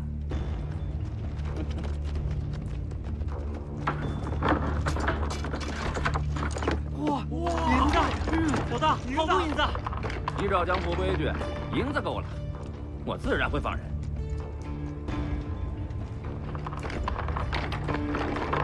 石头！哎，这怎么全？老大，这箱子底下全是石头，不是银子。你敢诓我？来人，在，把姓孙的给我砍了！是。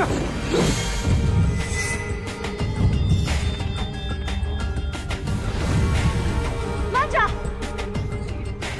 说什么都没有用，给我砍！银子得有命花才好，若得了银子而不能全身而退，还要银子做什么？我这儿有个两全的妙计，你可愿意一听？我凭什么相信你？就凭我是来救孙玉楼，而不是来害他毙命的。我有个主意，你先把孙玉楼松开，我已备好纸笔，让他写下他父亲的罪证。事后你们可凭这一纸罪状向孙家要钱，不愁孙家不兵符。孙旭是内阁首辅，知法犯法，祸及满门，他如何敢不从？到时候别说三十万两，就连三百万两、三千万两，也全凭你们开口。孙玉楼是朝廷命官，若你们杀了他，孙家必不会放过你们，朝廷也会天涯海角追击你们。吃不着羊肉，反惹一身骚，你们恐怕连逃命的钱都拿不出来吧？这又是何必呢？好，是个有胆识的丫头，给孙大人松绑。是。哼。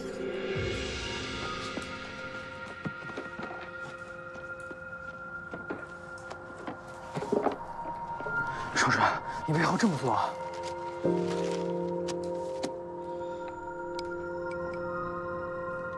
你听我的，谢，相信我。可父亲一事情面并无罪证，你要我如何写啊？那就编罪证，只要是你写的，他们就会认。拿着。不行，我写不出来。好，你不写我写。少川，嗯，少春，少春，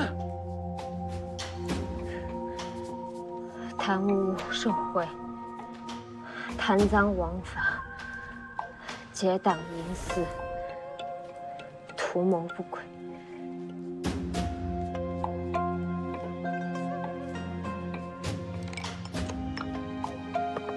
把手给我，给我。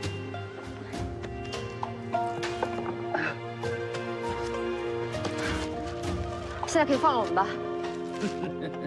好，以后每逢初一十五，你让孙家把银子给我备好，爷上门来取。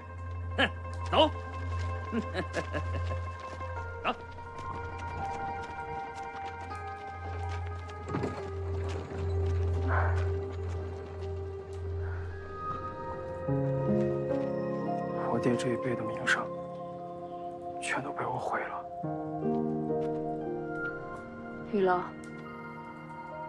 我向你保证，你担忧的事儿一件都不会发生。大哥，咱兄弟们和凡人吃一顿。晚上有酒有肉，杀两头猪。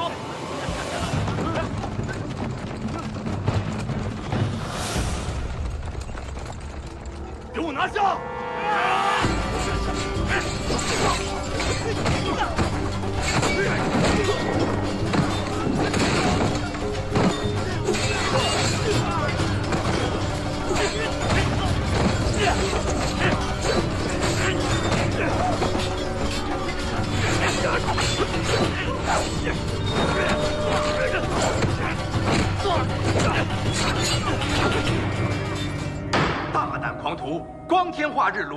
朝廷命官，其罪当诛。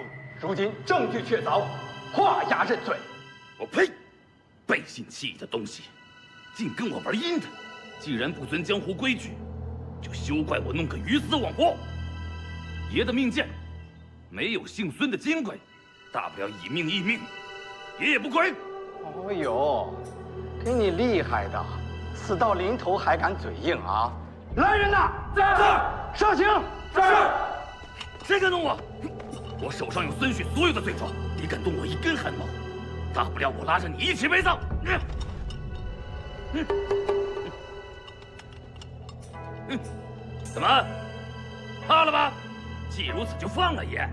这是我跟孙家的恩怨，与你们毫不相干。嗯，给他松绑。是。快点！哼！本官怎知你是不是信口开河啊？先把罪状拿出来，若是真的，自然放了你。好，瞧见没有？爷一条一条的念，也让众人听听。哼！嗯，快给本官躲下来！是。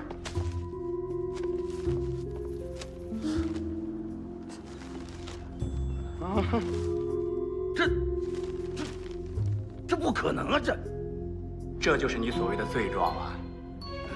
你勒索孙家钱财，扰乱公堂，现如今又污蔑朝廷命官，来人呐！给我拖出去，即刻问斩！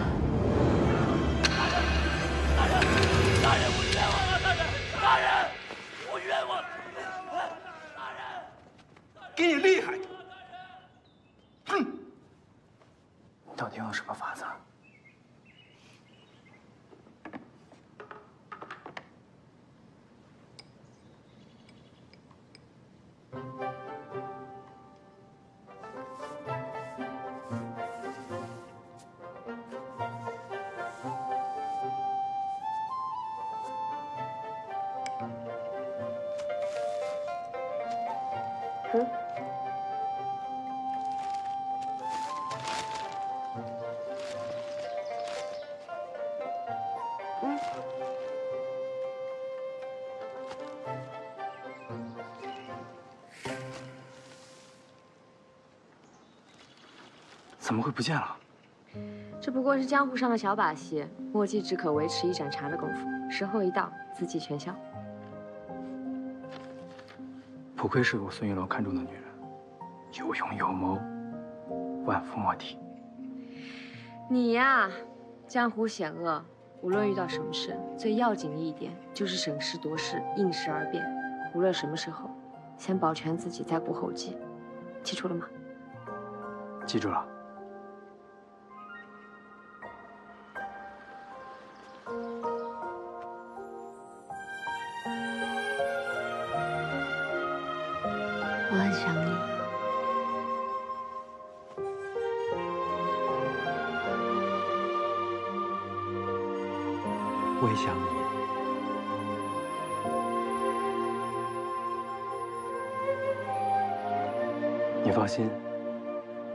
快我就能娶你进门了。老爷太太答应了？还没有，不过这次由不得他们不答应了。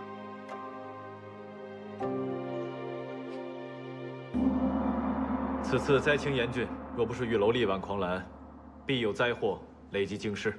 玉楼功在社稷，应当大力褒奖。朕本来想给你加官进爵的，可是昨日贵妃说你有个请求，究竟是什么？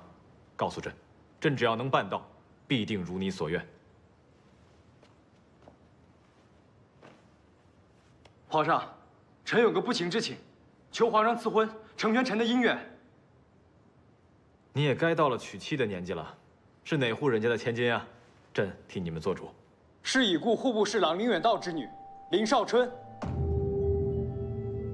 林少春，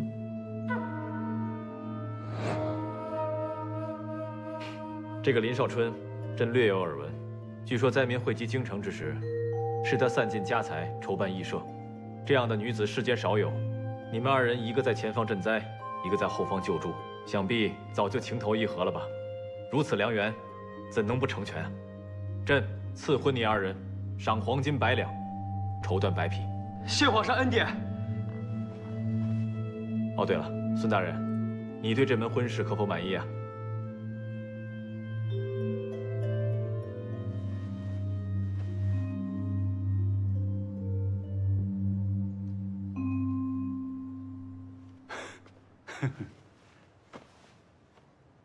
皇上赐婚是臣一门的荣幸，老臣叩谢天恩。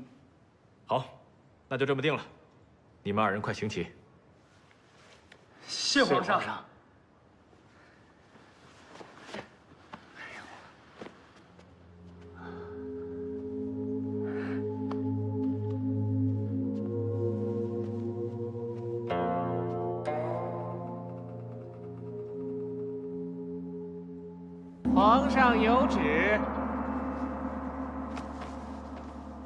少春接旨。奉天承运，皇帝诏曰：兹闻已故户部侍郎林远道之女林少春，克贤于礼，性秉分庄，正宫闻之甚悦。首辅孙训之子孙玉楼，赈灾有功，且未婚配，二人良缘天作。今下旨赐婚，合二姓以佳音，敦百年之静好。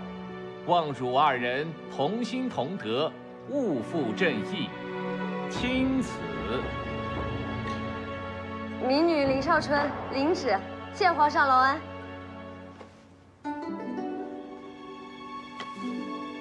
恭喜了，林姑娘，快起来吧。嬷嬷，啊这有劳胡公公跑一趟，这点心意请您收下，就当给底下人买茶吃。那我就替这些猴崽子们谢谢林姑娘赏了。告辞。胡公公慢走。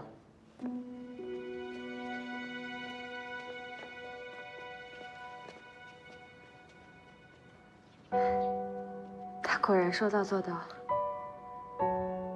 姑娘，终于守得云开见月明了。嗯。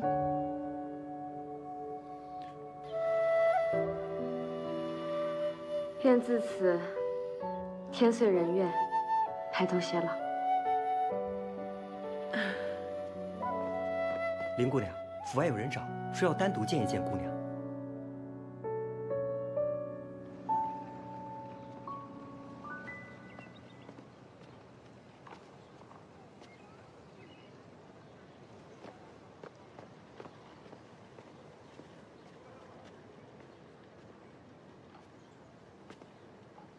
请问是哪位找我？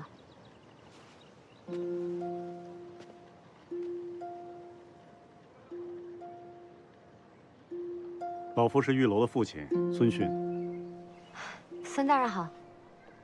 皇上赐婚的圣旨已经到了吧？是，已经到了。不知能否和林姑娘谈一谈？嗯。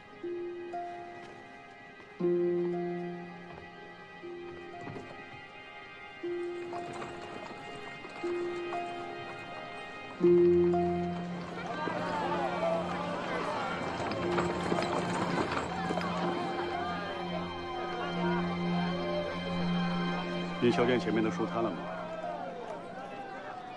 是，请孙大人指教。那卖书的男子本是居谷家的公子，自幼颇有才识，也曾在朝中任职。这样一个前程大好的人，却偏偏娶了个寒门女子，一直身后无人支持，遭人排挤，最后辞官离朝。回到家中又遭父母嫌弃，只好出来做个无本生意。你看看，一个本该拥有大好前程的人，最终却变成了今天这副模样，这究竟是何人之过啊？孙大人是在告诉我要引以为戒，不要连累玉楼。大丈夫啊，当有精忠报国之心，鲲鹏图南之志。纠缠于眼前的儿女情长，只会沦为庸常无能之辈。孙大人这番话，恕我不能赞同。大人凭什么认为我嫁给玉楼之后，玉楼便会不堪造就，日暮途穷呢？女子以三从四德为重，像你如此抛头露面又善经营的女子，入了我官宦门第，自然要受人冷眼。何为三从四德？未嫁从父，父亲在时。我恭顺孝敬，从未忤逆父亲。出嫁从夫，夫死从子。我尚无婚配，无夫无子，自然也无人可从。再说父德，家下遭难后，我迫于生计，在百戏班栖身，待父亲冤案昭雪后，我身居内宅，鲜少露面。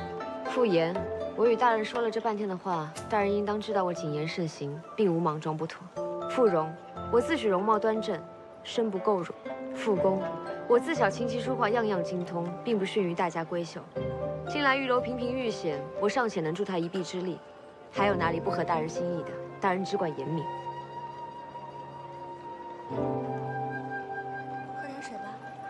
人人都羡慕锦衣玉食，我倒以为粗茶淡饭、相敬如宾也是神仙一般的日子。人生苦短，何必辜负大好时光？我明白大人的意思，是想让我知难而退，可我怕是要令大人失望了。我只会迎难而上。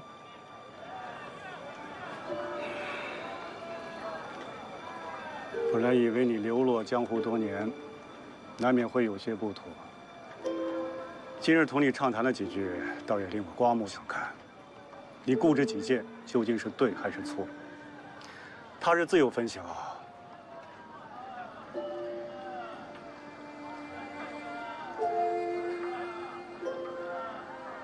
眼下暂且不提这些，你预备起来，放心加入我孙家便是。多谢孙大人。你现在可不能再叫我大人了。礼不可备，等大婚礼成，我自然给大人敬茶，恭恭敬敬唤一声父亲。是个妥帖的孩子，玉楼很有眼光。我仰慕玉楼的才华与能力，更感激他为我父亲洗清了冤屈。如此大恩，我一辈子都记得。嗯。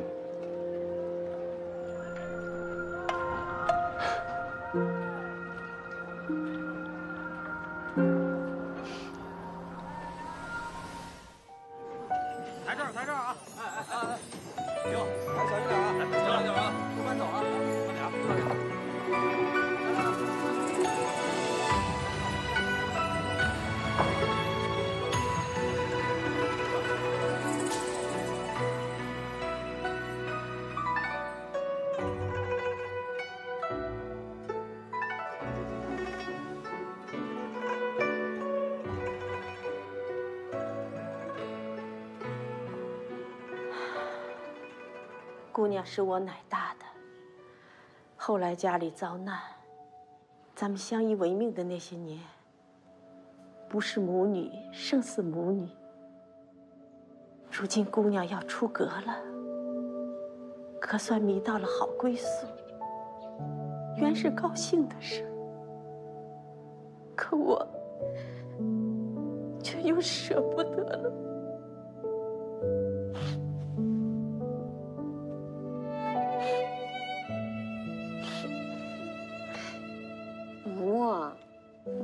哭呀。我也一直把您当我亲生母亲。本来想带您过去的，可是您还有小雅，进了人家府上终有不便。您就替我好好守着这府邸，日后我省亲也好往娘家走动啊。是是是，遵姑娘的令，这么高兴的事儿还哭什么？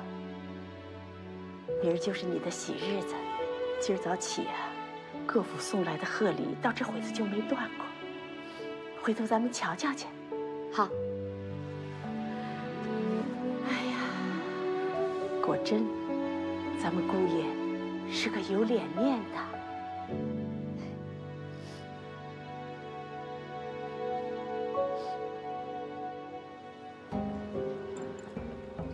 姑娘慢点儿。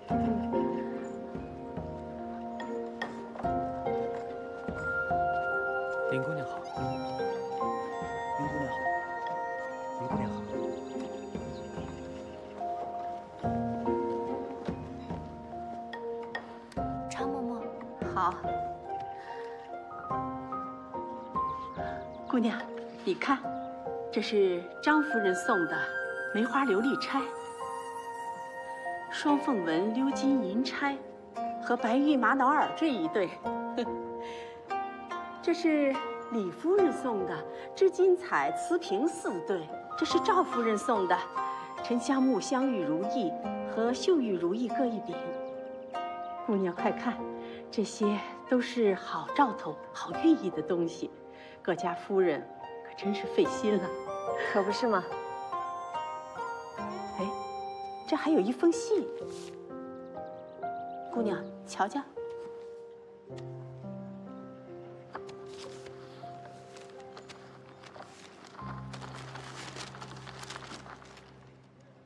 可是哪家的礼单？啊，是国库官员的任免图册。送这老身子干什么？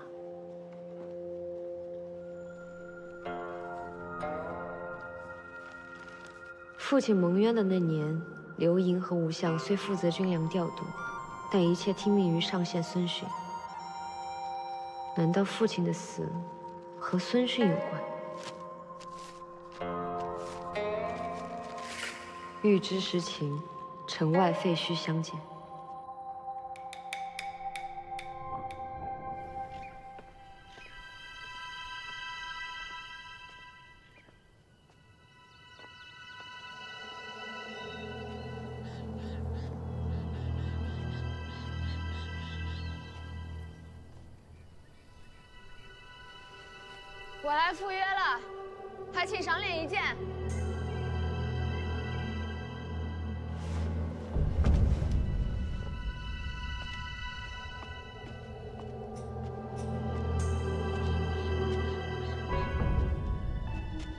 你是谁？你要跟我说什么？我是谁并不重要，重要的是我与姑娘，都曾被孙逊害得家破人亡。姑娘还被蒙在鼓里吧？当初害得你父亲蒙冤的就是孙逊，他贪墨粮饷，栽赃令尊，事发后又把刘英和吴相推出去顶罪，那二人不过是他的替死鬼罢了。证据呢？刘英临死前留下与孙逊往来的书信，这算不算证据？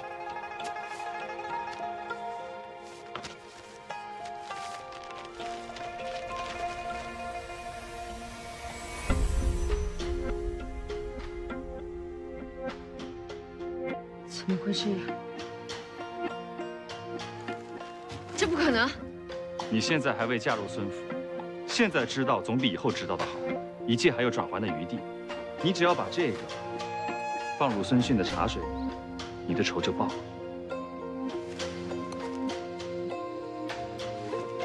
你到底是谁？等孙逊死后你就知道了。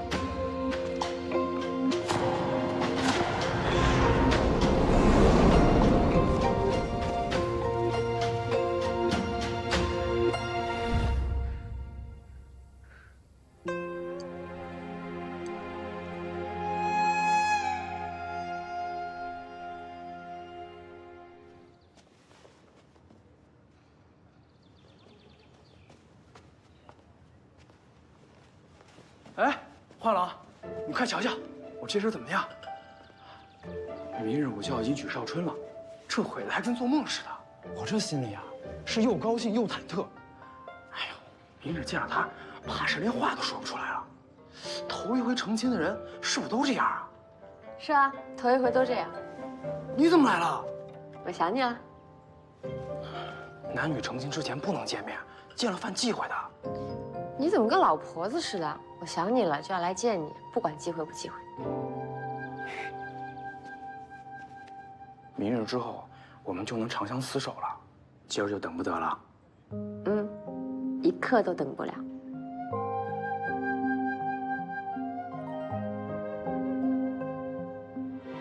哎，又来，这还没澄清呢。我今儿来找你是有件顶要紧的事儿。什么事儿？坐下说。新媳妇进门要给老爷太太兄弟姐妹预备见面礼，太太那头我准备了亲手绣的彩缎轻襦，兄弟姐妹们是古玩字画和珊瑚首饰。可到了老爷这边，却叫我犯了难，不知老爷喜好，怕准备欠妥，叫他扫了兴。我是想，老爷笔墨精妙，我若是临摹一幅他的字画，想必能讨他欢心。不过我不知道老爷自己，只好来托你带我去老爷书房走一趟。现在啊，明日成亲定会手忙脚乱，我可不想新婚之夜还在练书法。难为你有心，明日你进门，父亲母亲定会喜欢你的。走吧，我带你去。嗯。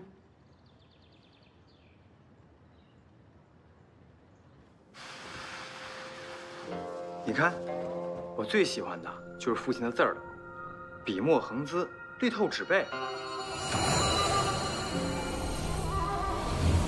怎么会一模一样？难道是真的？我该怎么办？怎么了？是不是父亲的字儿不易临摹？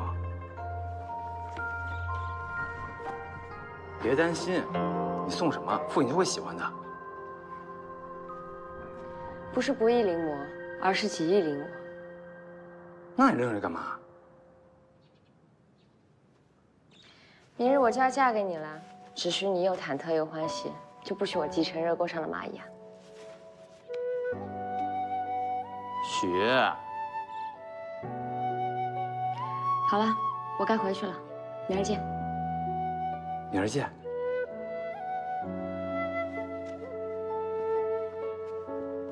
少春，这辈子我一定好好待你。我知道。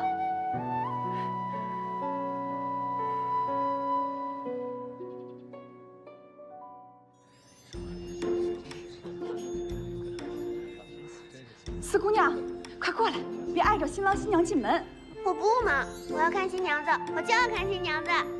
由他去吧。可算是了了我一件心事，我玉儿终于成亲了，心里头这块大石头终于可以放下了。男人先成家后立业，如今四弟也算大人了，往后自会愈发的老成练达的。是啊，这屋子里多一个人就多一份热闹，是不是啊，三奶奶？啊，二奶奶。去年府里多出了一个我，怎么也不见得热闹一些。哎，你也别触景生情，二爷迟早会回来的。依我看呢，咱们四奶奶可是脂粉堆里的英雄，登得了戏台，上得了公府。以后咱们这些人呐，可得仔细些，没得哪里不周全，再惹四奶奶笑话。行了，他救过咱们玉儿的命，咱们孙家危难之际他出过银子，如今是奉旨完婚，你有什么可挑唆的？哎呦，太太误会媳妇儿的意思了，我这是有意捧高四奶奶呢。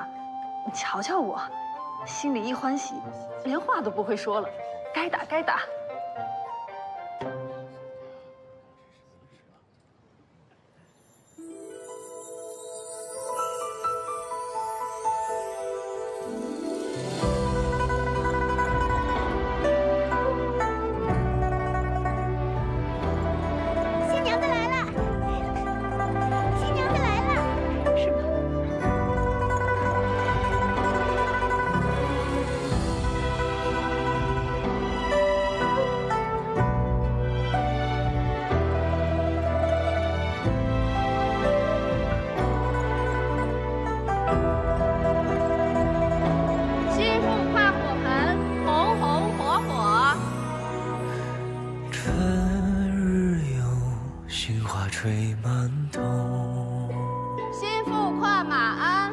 目光不。自觉地跟着你走。少年正风流，花一叶扁舟。江上烟波诗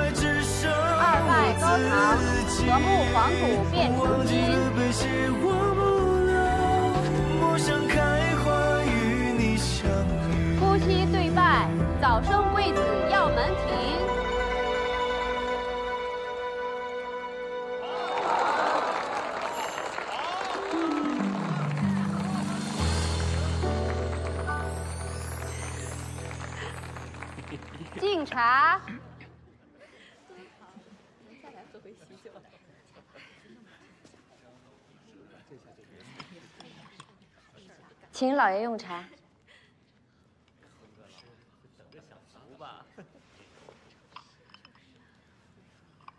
算是圆满。也挺不容易的。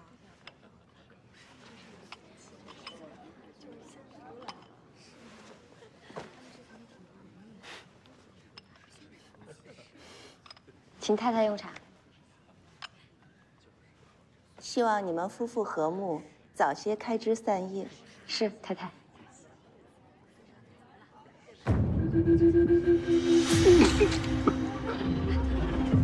父亲，父亲，父亲，大姨怎么了？突然之间吐血了呢。快叫太医！快快，扶到后面去。来，小心！快快快，小心！老爷喝了茶水才变成这样的，这茶水一定有蹊跷。快，快把林长春绑起来！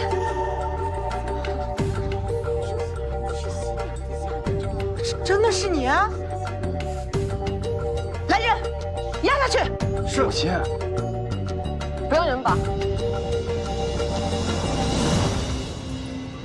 我自己会走。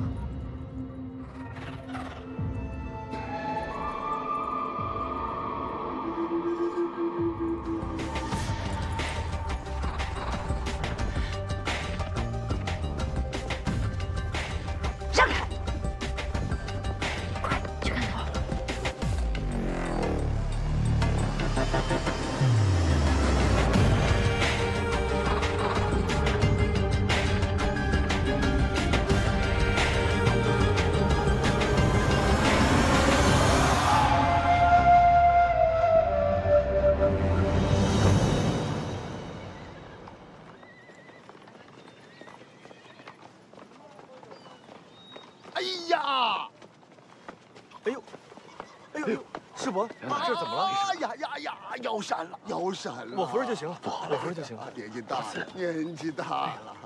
来，坐下，坐下，坐下。怎么回事？怎么到现在还没消息呢？不是说那个家猪头一喝之后便会……哦，梁大人，您这是腰闪了，年纪大了呀。哎，您得保重身体了。多谢多谢。一喝之后必死无疑的呢，怎么到现在孙府还没传出丧仪来？我去想办法打听打听，师伯少安勿躁。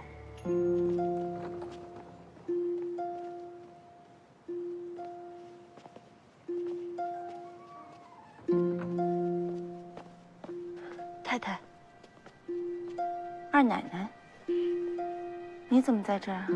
我担心老爷的安危，所以过来看看。老爷醒过来了吗？眼下毫无起色，我再想想其他法子。那齐太医怎么说？齐太医也束手无策。不过据说，有一个叫朱无忌的神医，医过怪病无数，希望他有法子。我这就打发人去找他。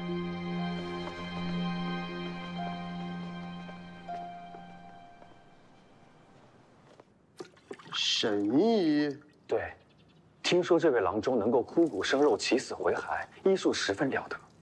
万一他把孙逊救活了，那可怎么办？要真被他救活了，以他的性格，必然会穷追根底啊！到时候我就怕牵连甚广。那咱们就想个法子，让这位神医变成杀人凶手。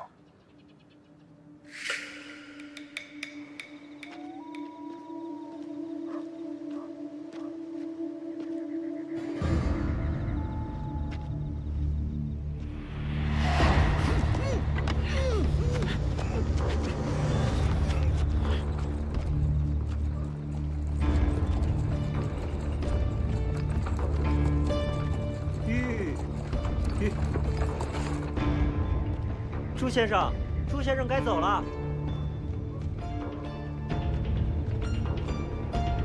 朱先生，久等了，走吧。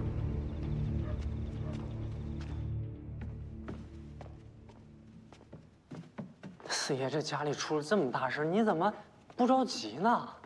少春说过，遇事不可急躁，越急就越不得法门。我得先查出是什么毒，才能对症下药。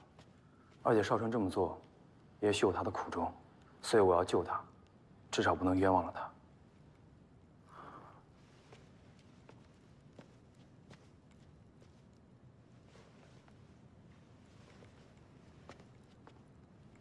别动。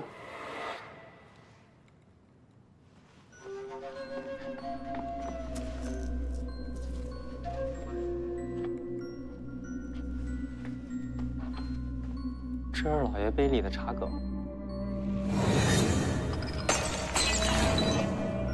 装起来，送太医院去。是。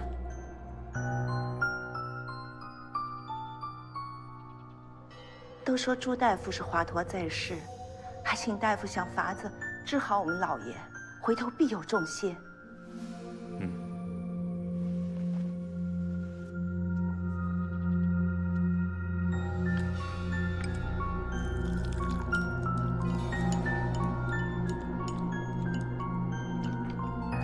此毒不难解，只需银针刺入，放出淤血即可。有劳无忌先生。不过此针法是我祖传秘方，不便与外人看。还有请太太屏退左右。啊，你们都先下去吧。是。有劳先生了。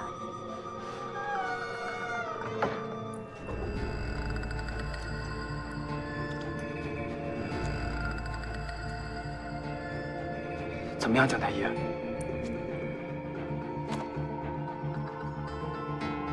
孙逊啊，孙逊，今日就送你去见阎王。不过我心好留你在人间多活一刻。你若立即死了，我就没法子逃脱了。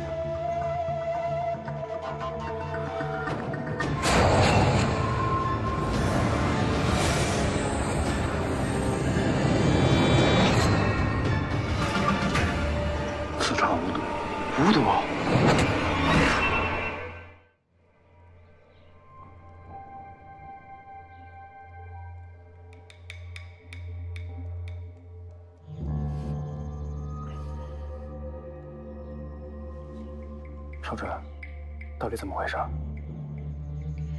成亲前一日，我收到一封信，据说是刘莹与老爷密谋的信件，能证明老爷是害死我父亲的罪魁祸首。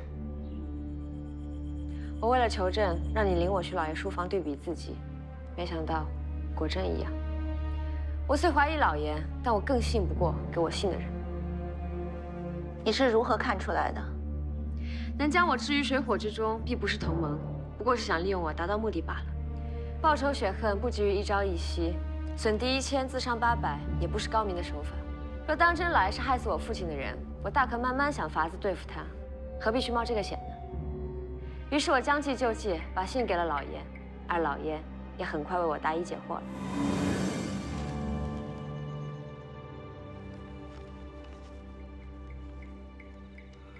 这信是从哪里得来的？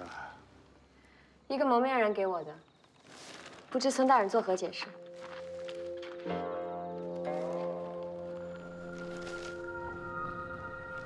你心中早已有了答案，又何须问我？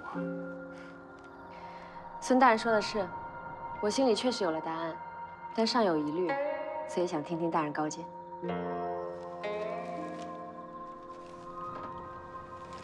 先说说你的看法。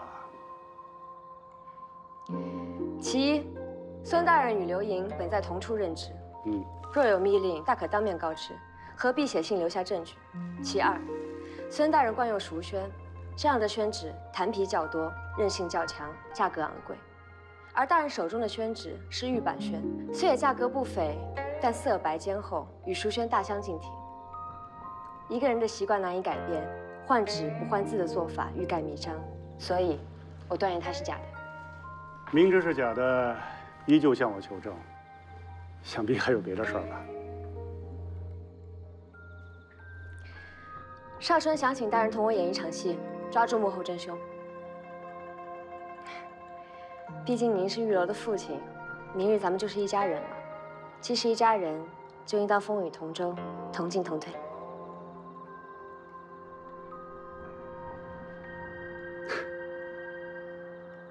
嗯，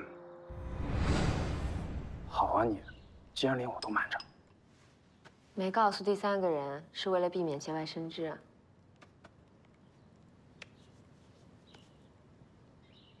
嫂子还误会妹妹了，真是该死！事发突然，咱们都为老爷担忧，会有言行过激之处，还望妹妹体谅。朱无忌，我问你，指使你的人是谁？我并不是什么朱无忌，朱无忌早已被我杀了，你们也不必追问谁在我背后指使。我收人钱财，与人消灾，这一切，皆是我一人所为。这是谁跟咱们孙家有这么大的过节？这种事情有一次，未必没有下一次啊！看来我以后得更多加练习武功才是。那这往后这日子可怎么过呀？我们在明，人家在暗，整日提心吊胆，这也不是长久的法儿啊！是啊，这娘子说的对呀，这还了得啊！这种事情我们行了，老爷自有法子，大家少安勿躁吧。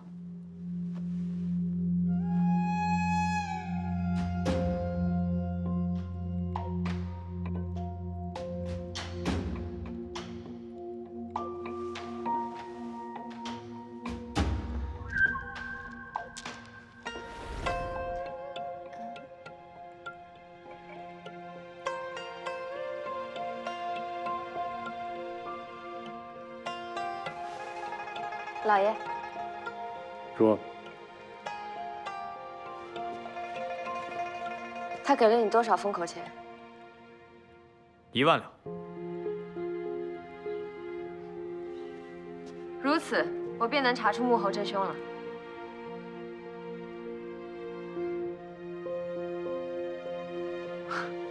对呀，一万两不是小数目，无论是银票还是现银，都必须经过钱庄，而京城的钱庄就那么几家。老爷，这件事儿交给儿子去办吧。好。这是刚出笼的团圆糕，大家都尝尝。仙儿，嗯，你尝，还热乎着呢。快谢谢太太。谢谢太太。老爷，这个啊谢谢父好甜呢。甜就对了。咱们家最近啊危机重重，一日也不让人省心。眼下刚迈过一个坎儿，但愿今后的日子平安顺遂。玉楼媳妇儿此是功不可没啊！若不是她聪慧，我这会子恐怕身在黄泉路上。老爷，你瞎说什么呢？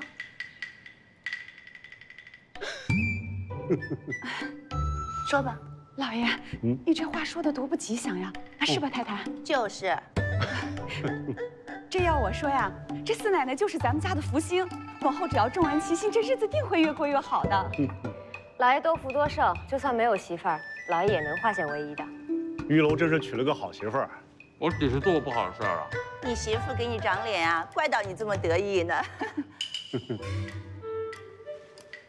不过咱家人多，琐事也多，今后少不得玉楼媳妇儿并几位嫂子一同打理。那感情好啊！新来的妹妹办事熨帖，有她在，咱女生的担子轻了不少。我早就说过，林姑娘是好的，咱们啊要多向人家学习才是。如今瞧，还真叫我说中了。妹妹能者多劳，以后这家业啊，全靠妹妹扶持了。都是一家人，断没有靠谁之说。家业兴旺也不单凭我一人，还需大家齐心协力，才能保孙家百年昌盛。是是是，妹妹说的句句在理。金阁最近在忙什么呢？三爷他正闭门思过呢。上回那事儿臊得没脸见人，说愧对于老爷太太这会子把自己锁在房里正勤学苦读呢。哦知道自省也算是小有长进回头啊拿些糕点送到他房里去。是谢谢老爷。